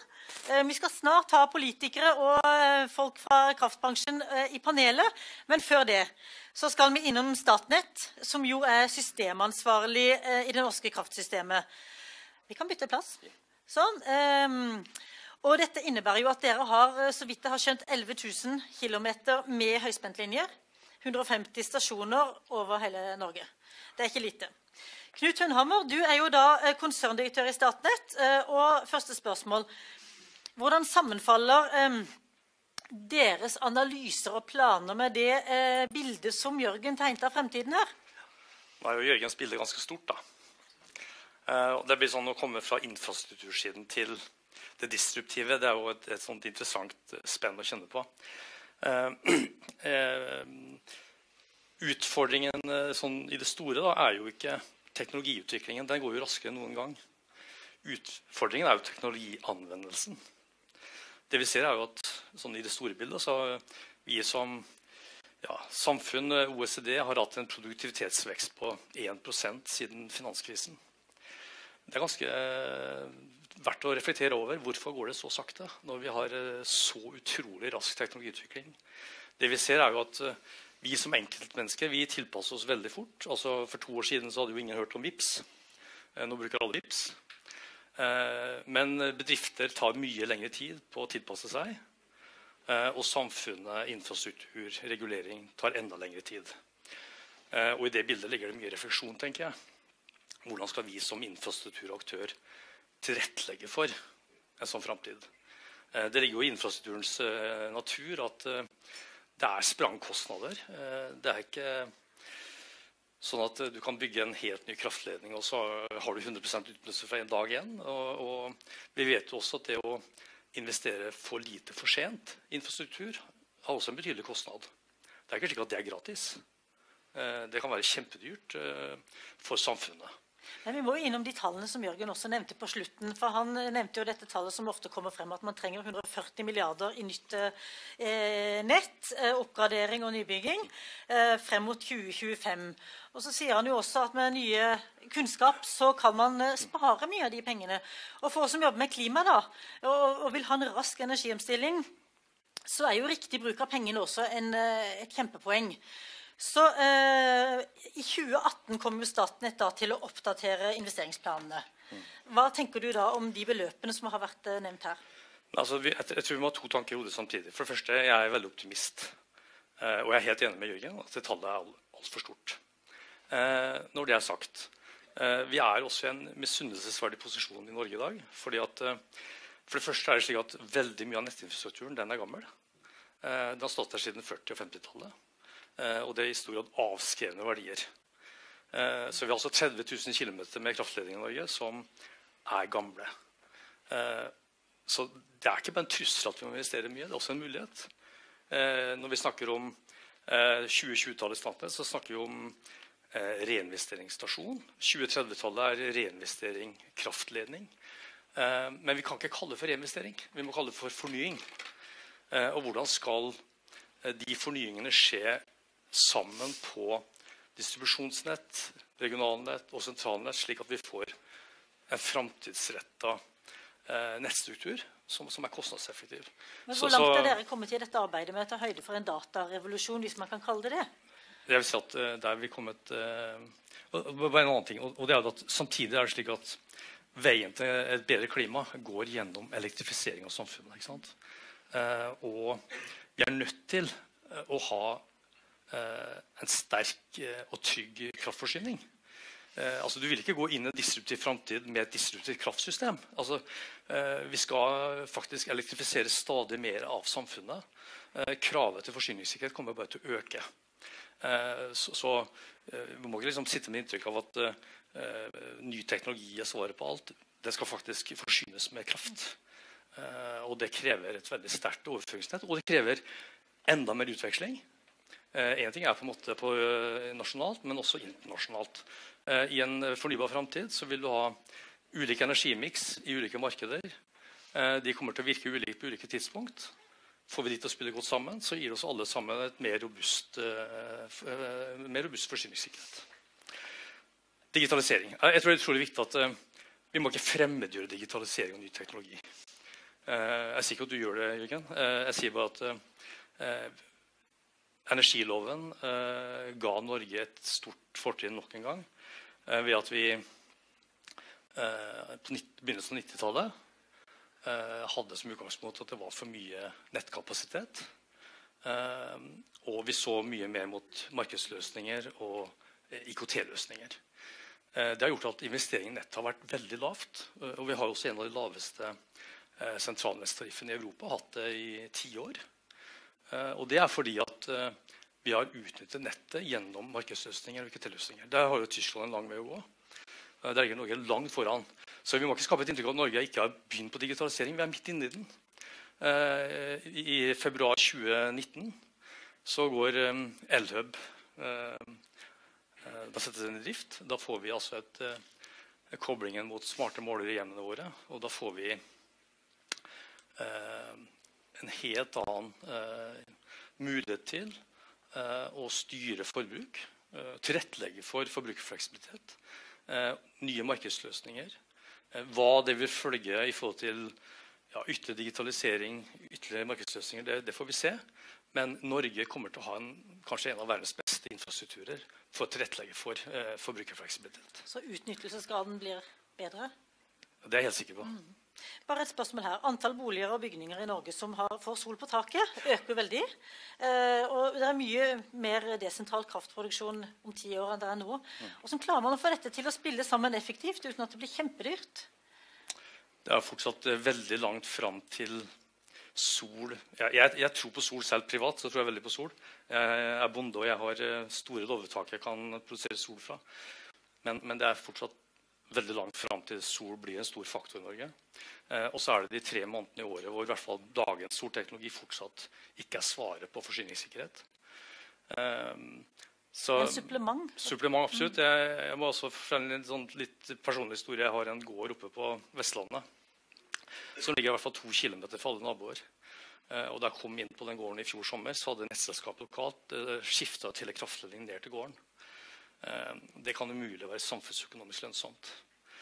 Eh, så, liksom, vi må eh, retenke eh, på alle nettnivåer tenker jeg, i forhold til hvordan vi bruker pengene våre. Nettopp, der er vi inne på det igjen. Så er det transportsektoren som skal eh, i hvert fall delvis elektrifiseres, og på sikt eh, definitivt. Eh, Norwegian, Avinor snakker om at de skal ha alle avgangene i Norge skal være elektriske på småfly innen 2040. Eh, store trailere, ferger, hurtigbåter og busser og alt med seg. Cruiseskip også, som skal lade.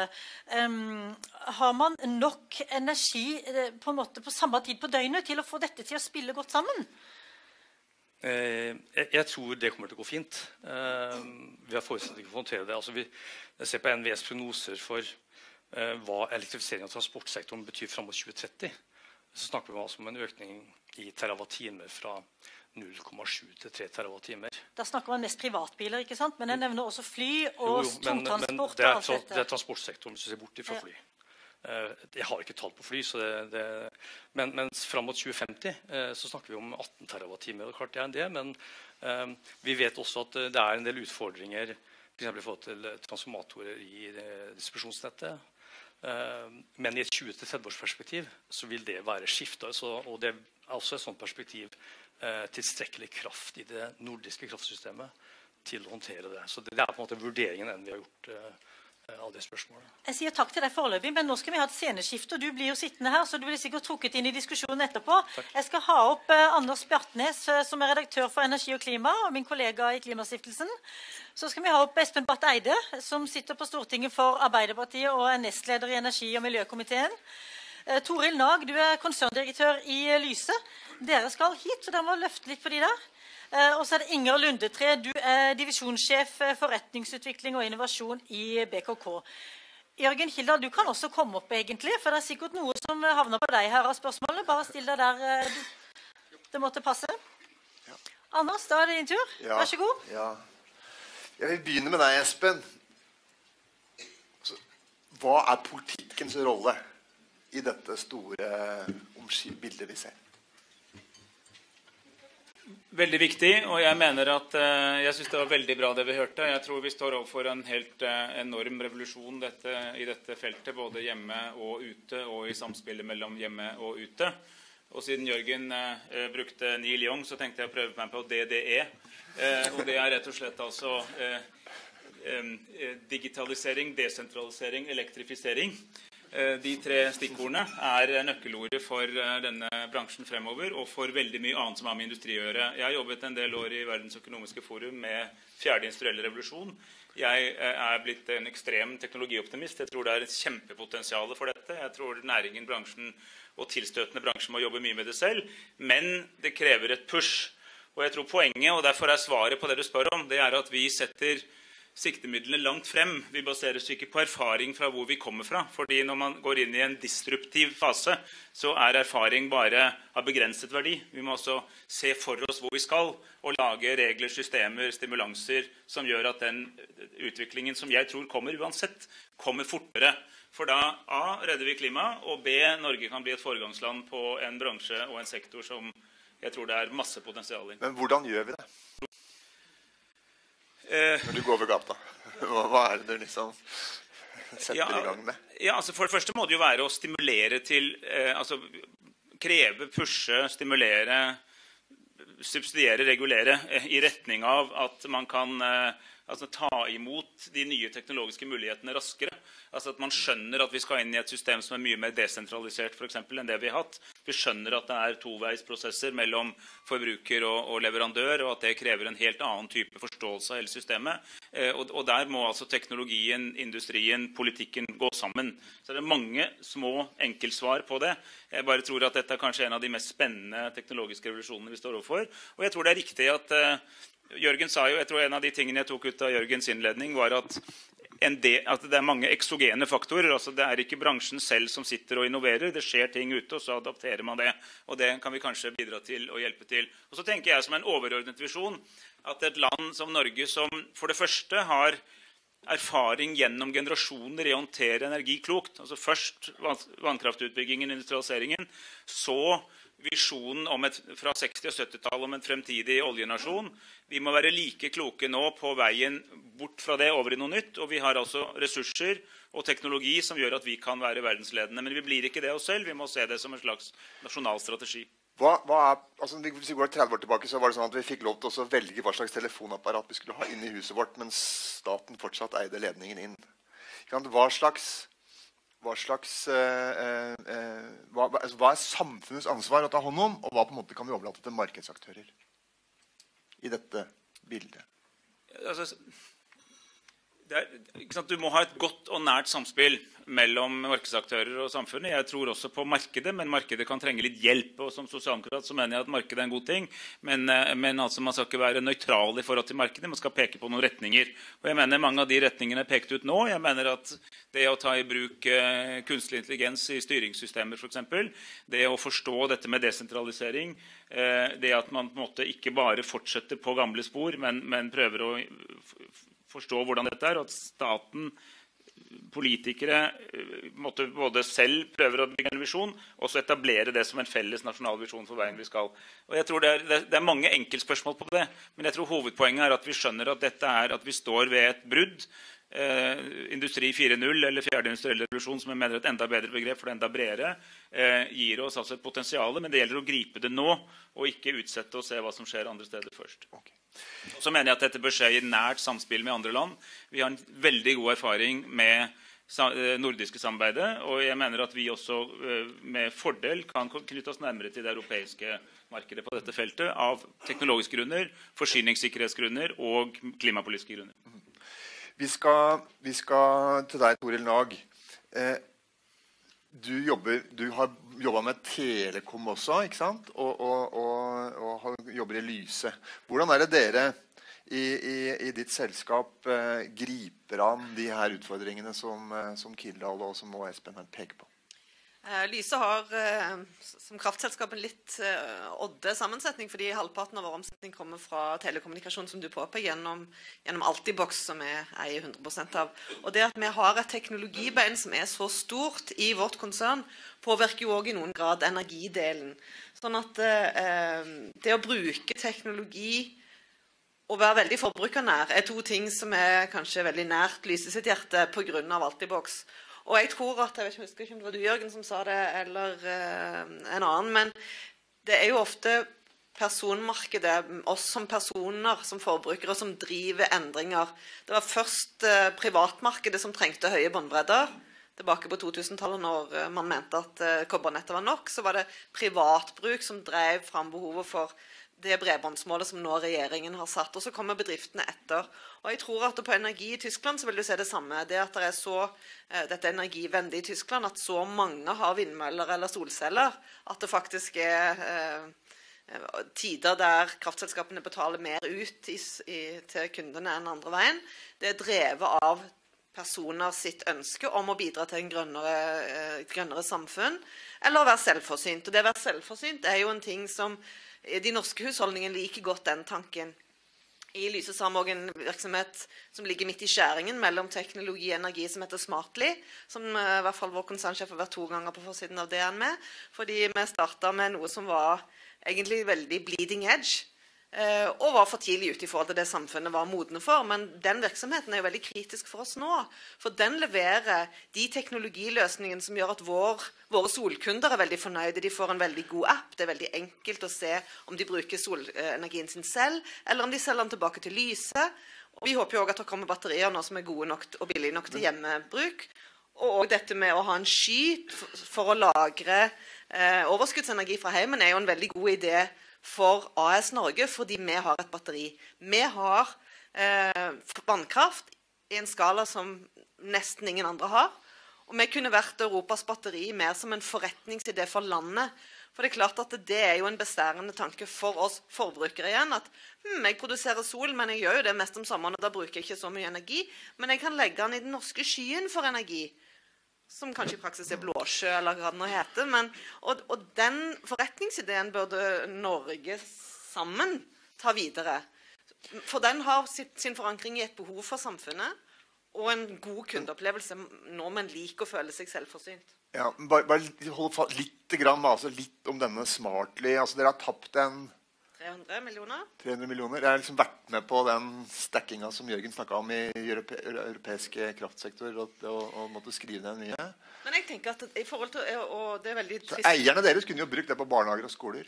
Ja, men samtidig så er jo det ganske mye mindre enn overskuddet fra Altibox. Bare i fjor så hadde Altibox et overskudd til våre eiere på 500 millioner. Mm. Så i forhold til å ta en innovasjon og være for tidlig ute, ta læringen med videre Vi vet jo ikke hva den læringen kommer til å gi av inntekter framover. Vi vet at i dag så har eierne våre et godt tilbud på lading, f.eks. Godt samarbeid med BKK på det.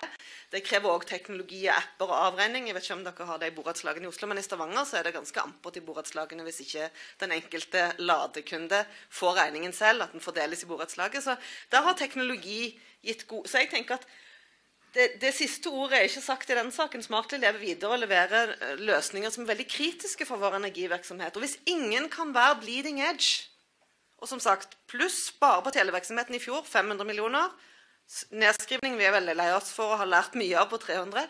Hvis en ikke kan gjøre det, og se på Telenor nå som var ute med at de måtte nedskrive 1,3 milliarder igjen på et kjøp i utlandet Hvis ingen tør ta risiko, hvordan skal da samfunnet komme framover? Så det er sånn eh, litt norsk det der at eh, du skal ikke gjøre noe nytt, for det kan gå galt.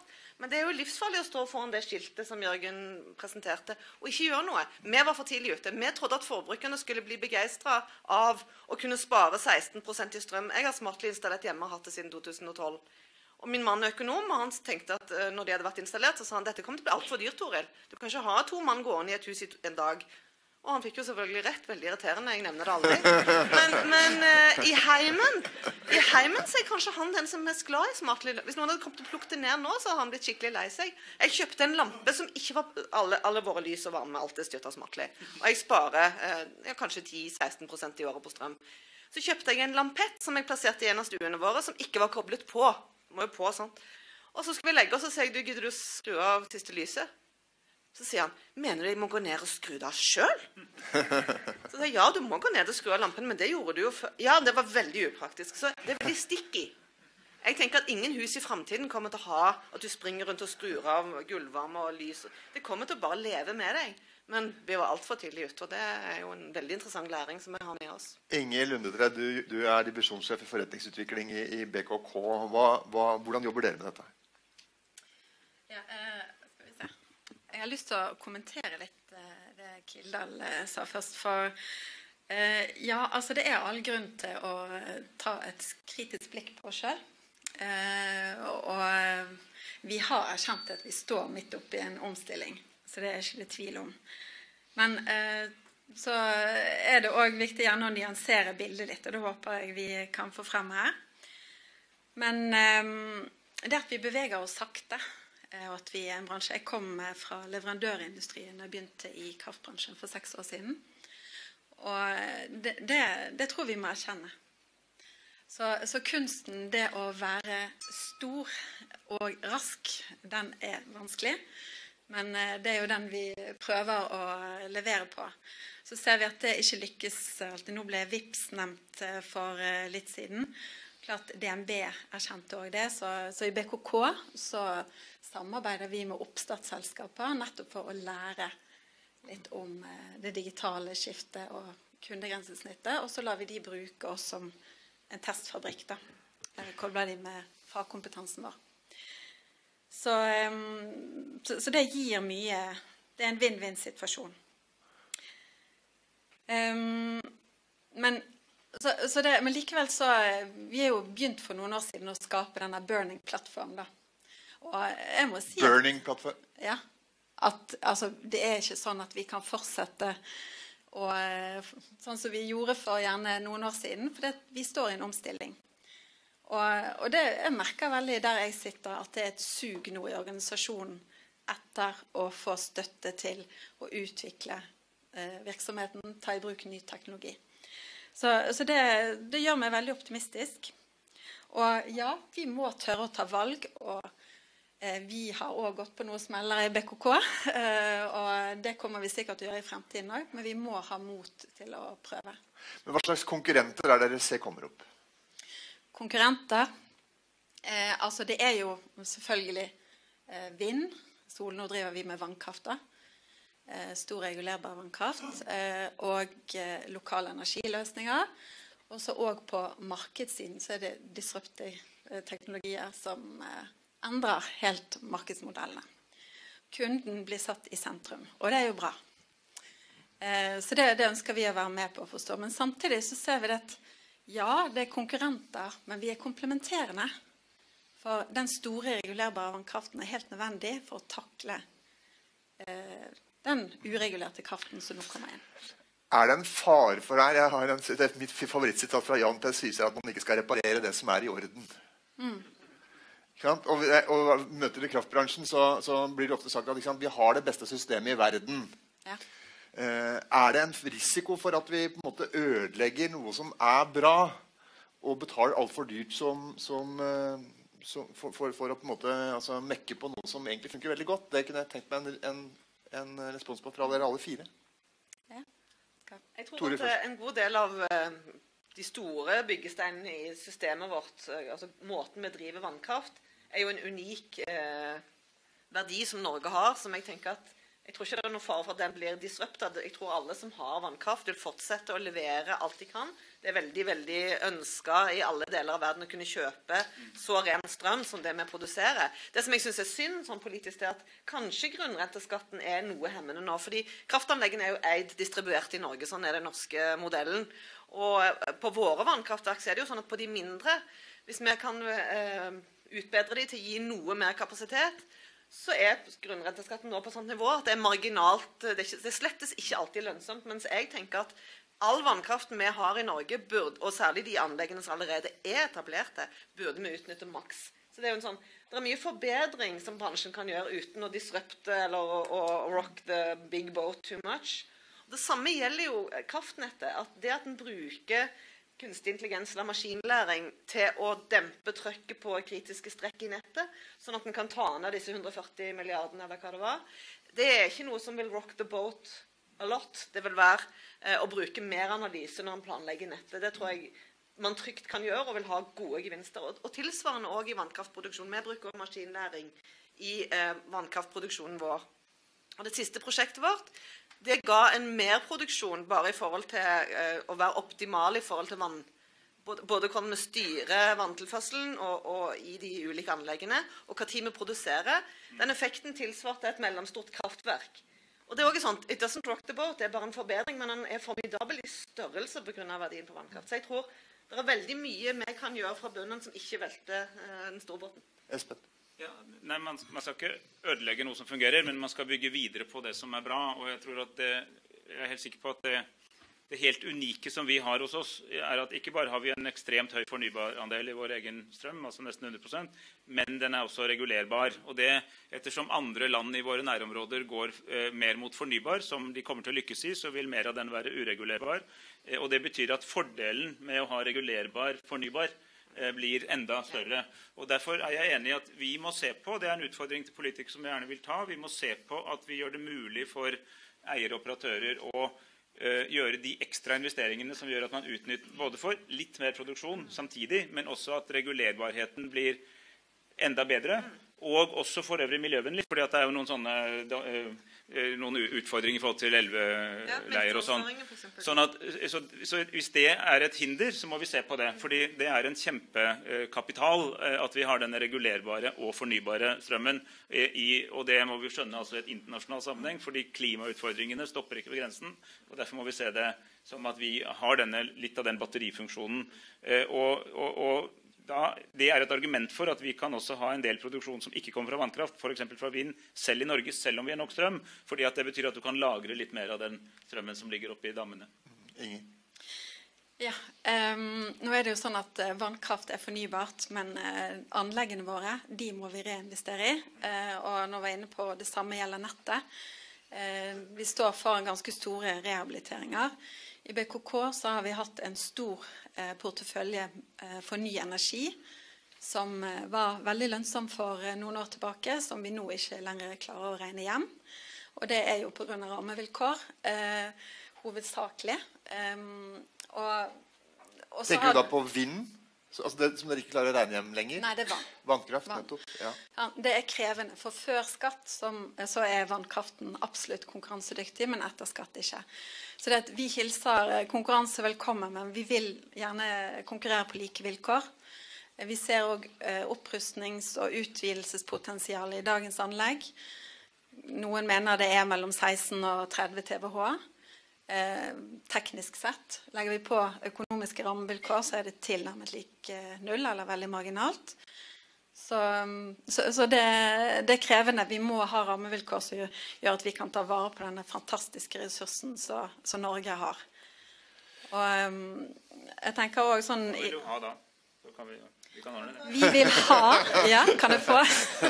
Eh, eh, det er Altså, skatt Nå har jo regjeringen eh, satt ned et utvalg som skal se på det. Men like konkurransevilkår. fordi at hvis vi skal få de riktige investeringene sett i et samfunnsøkonomisk perspektiv, så kan ikke vi fortsette på den måten med å ha helt andre vilkår for vannkraften og kraftsystemet vårt. Jørgen, to ting. Det ene er altså, Er vi i ferd med å ødelegge noe som er i orden? Punkt én. Og det andre er spørsmålet om denne regulerbarheten som vi på en måte har snakka om nå i ti år i Norge, at det er så mye verdt. Er den i ferd med å, å devaluere? Du snakker om å reparere. Vi har en klode som er alvorlig syk. Vi har et eh, system rundt oss hvor vi sløser med ressurser. Og alt sløsing og svinn må vi så langt mulig forsøke å bli kvitt. Så å fortelle at eh, systemet fungerer, det er da et premiss for spørsmålet som eh, jeg ikke kjenner meg igjen i. Um, så til, da, til, til det andre i forhold til bruken av teknologi og disse tingene, så er det slik at jeg syns Lyse egentlig jeg synes det er flott. det. Lyse har vært aktive. Dere var tidlig på f.eks. LNG, småskala. Det ser vi at det, innenfor andre sektorer, som er den maritime industrien, må omstille seg fra å bruke tungolje i havneområder til å bruke mer miljøvennlig. Det er- tror jeg de har gjort mye som ja, bedriftsøkonomisk. Så ser det, tar du en avskrivning. Men la meg bare peke på at de fleste kraftverk har nedskrevne anlegg. Det gjør at du får ikke en nedskrivning over resultatet ditt. Har du putta penger inn i noe nytt, så blir du sittende for revisor og si hvor mye er dette verdt i dag. Har du et anlegg som har stått i 100 år, ja, det er jo lønnsomt. Enten eh, det er sånn eller sånn. Så, men bare til det siste.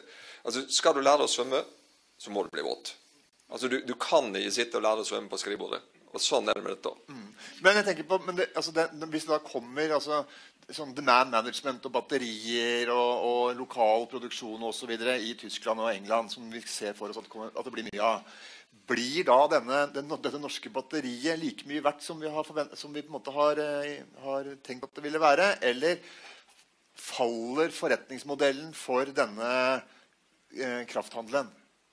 Jeg, jeg tror at det blir mer krevende. Altså, vi har sittet og regnet på pumpekraftverk i Tyskland hvor du skulle tro at det lønte seg, og på reinvestering. Det tar vi ikke.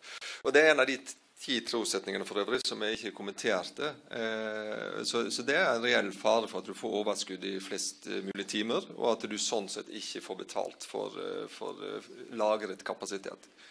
Og så er det forhold til energimengden. Altså Når du svinger på et par timer, altså og kapasiteten du trenger Når du i et par timer svinger nesten 20 000 megawatt i en system som Tyskland, og vi har en installert på 30 eh, altså det, det er noen dimensjoner ved dette som gjør at du må nytenke rundt hele konfigurasjonen. Men jeg, jeg må jo si, hvis jeg har etterlatt et inntrykk at jeg synes egentlig, altså Norge har et fantastisk utgangspunkt, og vi har aktører som Vi er digitaliserte mer enn noe. Vi har de beste kommunikasjonsløsningene i verden. Altså Vi har alle forutsetninger for å lage det mest intelligente energisystemet i verden. Og Der tror jeg også vi snakker om noe som kan eksporteres, på samme måte som vi gjorde i forbindelse med Nordpol og den type ting. Så jeg, jeg er også, altså Du er teknologioptimist og jeg er energioptimist, så det er mye optimisme egentlig rundt dette. Eh, Espen har snart løpet over igjen i Stortinget. Er, har du en utfordring til han før han, eh, han eh, Stikker. Han har fått på seg en skatt, skatt, skatt Nei, altså- er det notert, tror jeg. Nei, altså, det, Sette opp skatten på andre ting. Nei, et, altså Hvis vi blir enige om målet og tidslinjen, og så kraftsamler vi, det, så tror jeg det er bra. For dette, reguleringen er ikke en konsekvens av markedet. Det har det vært til nå. Nå tror jeg det blir motsatt, men det fordrer et annet type samspill og samhandling. Og det skulle jeg ønske at politikere, bransje, regulator Regulatorene i Norge er for øvrig veldig offensive, etter mitt skjønn, sammenlignet med andre. Så er de langt foran. Statnett òg, som TSO. Så, så, det er veldig mye bra som du kan bringe sammen. Og så tar vi ett skritt tilbake, og så ser vi på strukturene på nytt. Mm. Må, Tore må også løpe. Ja. En kjapp kommentar fra deg. og så jeg. Min daglige virker jo mye på teknologisiden. og Vi pleier å si at det er nye teknologiene, de nye eksponentielle teknologiene. Så er det regulering, og så er det kundeatferd, kundepreferanser, som styrer innovasjon. Og på energi er det enda sannere at reguleringen må komme tidligere enn det vi er vant med. Eh, vi pleier å si på teknologisiden at et, uh, Uber kan komme som en idé, men hvis ikke reguleringene henger sammen, så, så dør han enten man liker han eller ikke liker han. På energi så er det så mye fysisk og så uh, komplekst samspill at der er regulering enda viktigere for innovasjon. Men kan man da bli, bli si, frista til å regulere for mye slik de gamle aktørene vil, og stenge de nye ute? Mm. Ja, det kan man. Espen? Altså, det, det, er jo faren. altså liksom, Motstykket til 'Never Change a Winning Team' er jo at man blir låst altså Noe som var fantastisk bra, binder oss til ikke å innovere. Så vi må liksom prøve å forstå hvordan er våre naturgitte forutsetninger, våre teknologiske forutsetninger, hvordan hjelper de oss i det 21. århundre, uten bare å se på hvordan det hjalp oss i det 20. århundre. Og jeg tror regulerbarheten i vår vannkraft vil i mange år fremover i hvert fall være veldig viktig som en del av Europas grønne skifte. Altså, vi har allerede sett at Danmark kunne kvitte seg med kull mye fortere pga. forsyningssikkerheten de fikk fra Norge. Og Så bruker de jo stort sett sin egen vind, men de må vite at de kan ha kjøleskapet fortsatt så på når det ikke blåser noe sted i Danmark, som er veldig sjelden. Eh, og, eh, og, eh, men derimot den, si, den, økonomiske gevinsten ved de aller mest marginale salgene, altså det korte øyeblikket, den vil kanskje gå ned fordi at prisforskjellen med Nord-Europa ikke vil være så stor i fremtiden som mange tror. Og det er et ganske sentralt spørsmål. fordi at det er en forestilling nå om at hvis vi knytter oss nærmere til Europa, så vil prisen i Norge rase opp. Det tror jeg på litt sikt er rett og slett feil. Det kan nesten gå motsatt. Mm. Inger? Ja, eh, altså vi, vi, er vel, eller i hvert fall vi tror at det blir ikke mangel på energi eh, i fremtiden, men eh, fleksibilitet. Digitalisering, eh, ny teknologi vil hjelpe oss å håndtere overgangen til det grønne skiftet. Um, både på forbrukssiden og produsentsiden. Men jeg har lyst til å skape et bilde. Uh, og det er disse vannmagasinene våre. Det grønne batteriet.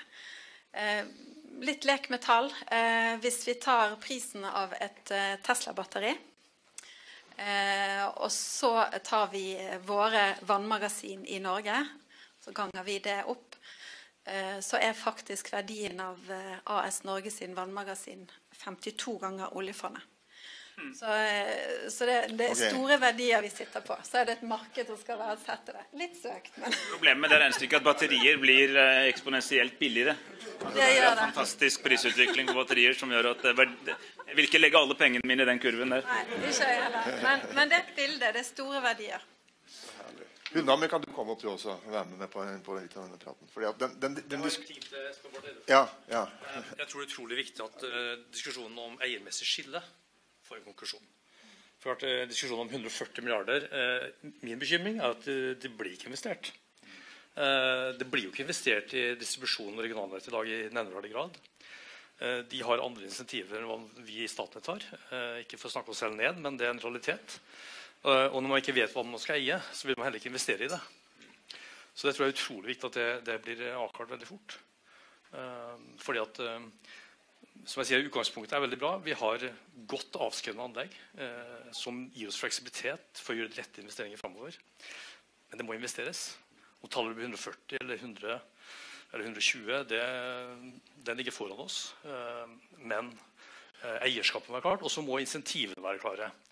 Eh, nå jobber NVE med å se på en reduksjon av NVE-renten.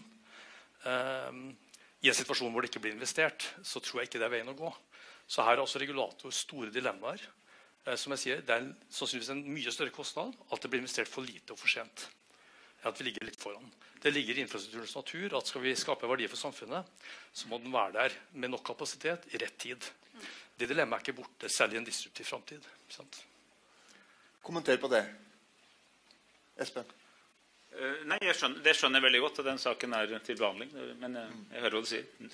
Men hvem er det som skal investere? Altså, Hvilke selskaper er det som skal gjøre investeringene? Du, du mener at uh, som, altså, Hvem er det som konkret skal ta beslutningen om å bygge ledninger? Nei, altså, jeg tror vi har en, vi har en god modell. Altså, man kan mene mye om at vi har 120 nettselskaper.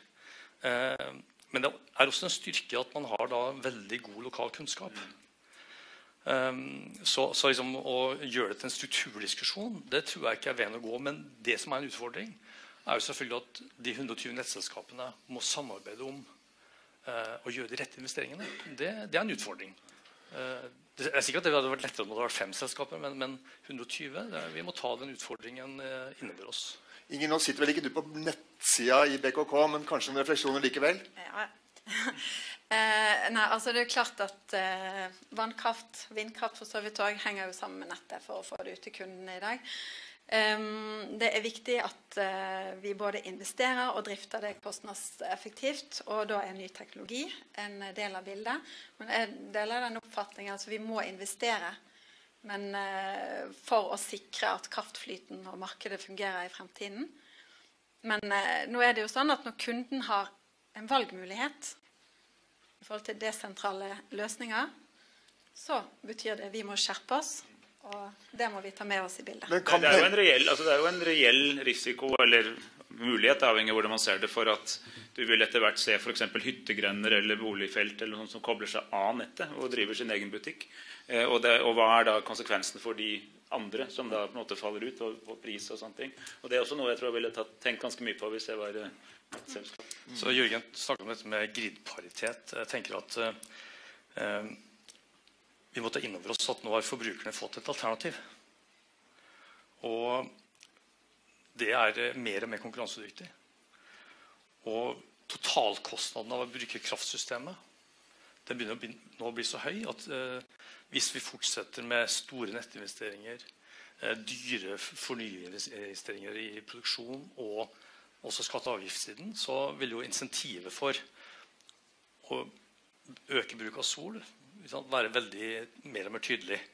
Og da kan vi fort komme inn i en sånn krevende spiral hvor eh, restkostnaden den er jo der fortsatt, men bruken går ned. Så klart, Her må vi finne de gode modellene framover også.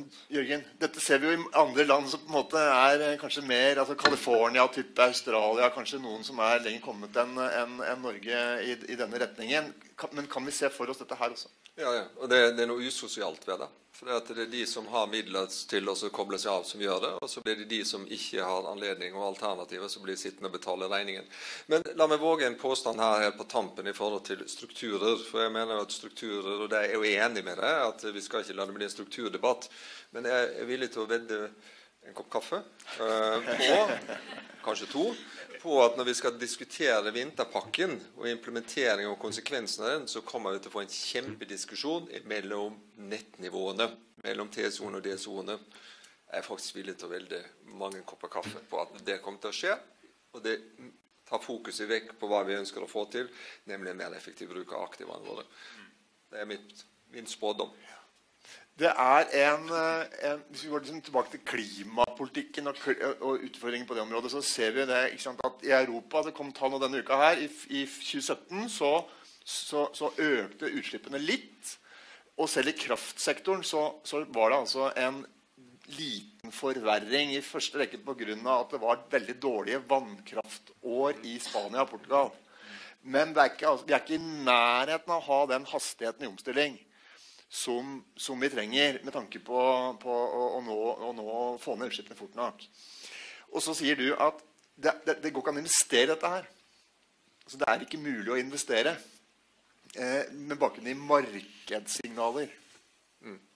Hvordan, skal, hvordan, skal, vi løse dette? Og da tenker jeg liksom på det store bildet. Hva, hva må til for å, for å få den takten til å være rask nok i forhold til klima, klimautslippens fall. Med fare for å høres veldig idealistisk ut, men så, ser det likevel, så det, snakker vi altså om en dugnad. her. Eh, og Det betyr at staten må bidra, og aktørene må bidra. Men det er denne samhandlingen som jeg etterlyser. Og det at du ikke i dag får noen som er villig til å investere i ny kapasitet, det har jo selvfølgelig med at det er veldig uforutsigbart. For alle vet at politikken og reguleringen kommer til å endre seg. Hvordan i all verden analyserer du politisk risiko, hvor stort risikopremie skal du ha, etc. etc. Så, så, disse tingene henger jo så nært sammen.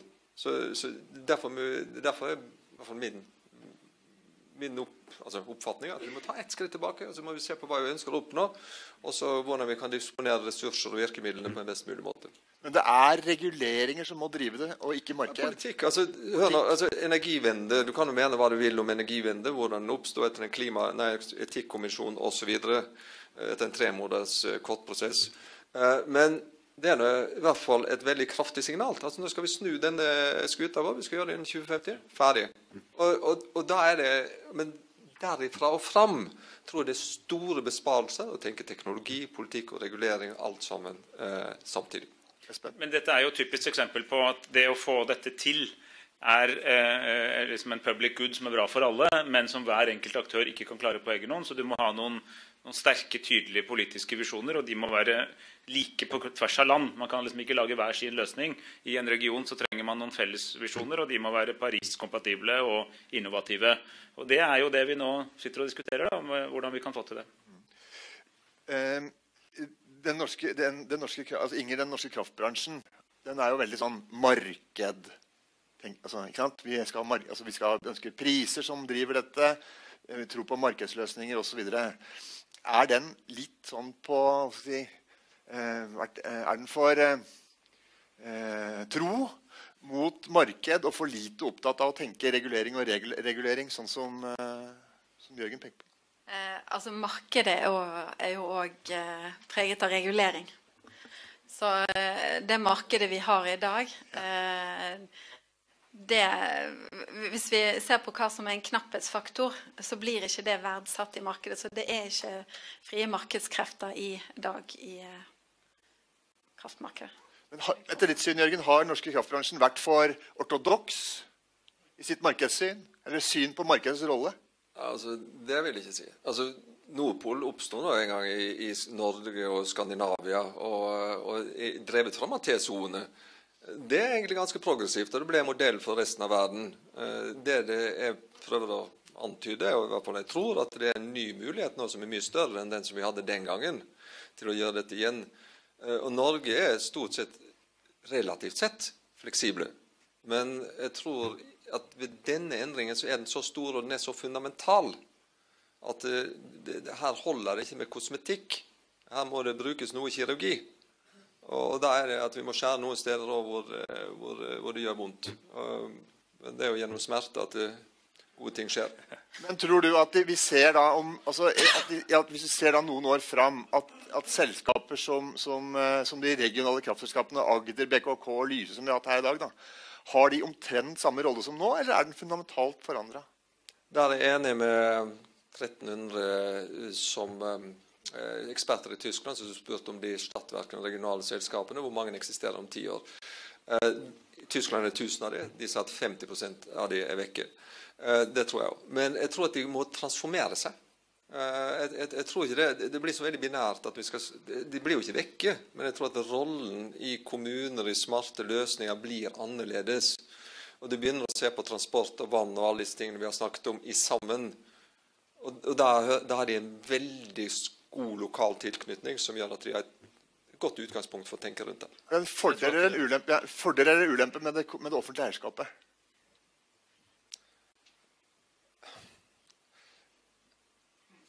Ja, det er jo altså, det, det, har jo hvordan eierskapet ter seg, egentlig. Altså, generalisere. det. Hvis eierskapet ter seg på en måte som stiller krav, og som er pågående, så er det bra.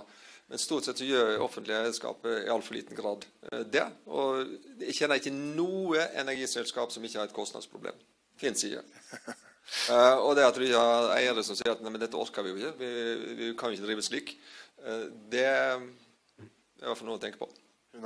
To korte replikker. Det ene er jo at eh, altså, vi må ha mer marked, ikke mindre marked. Altså, det er finere tidsoppløsning. Eh, Europa må ha bedre markedsløsninger. og vi må gå foran. Tyskland har kjempestore kostnader på å drifte systemet sitt på reservesiden i forhold til hva vi har.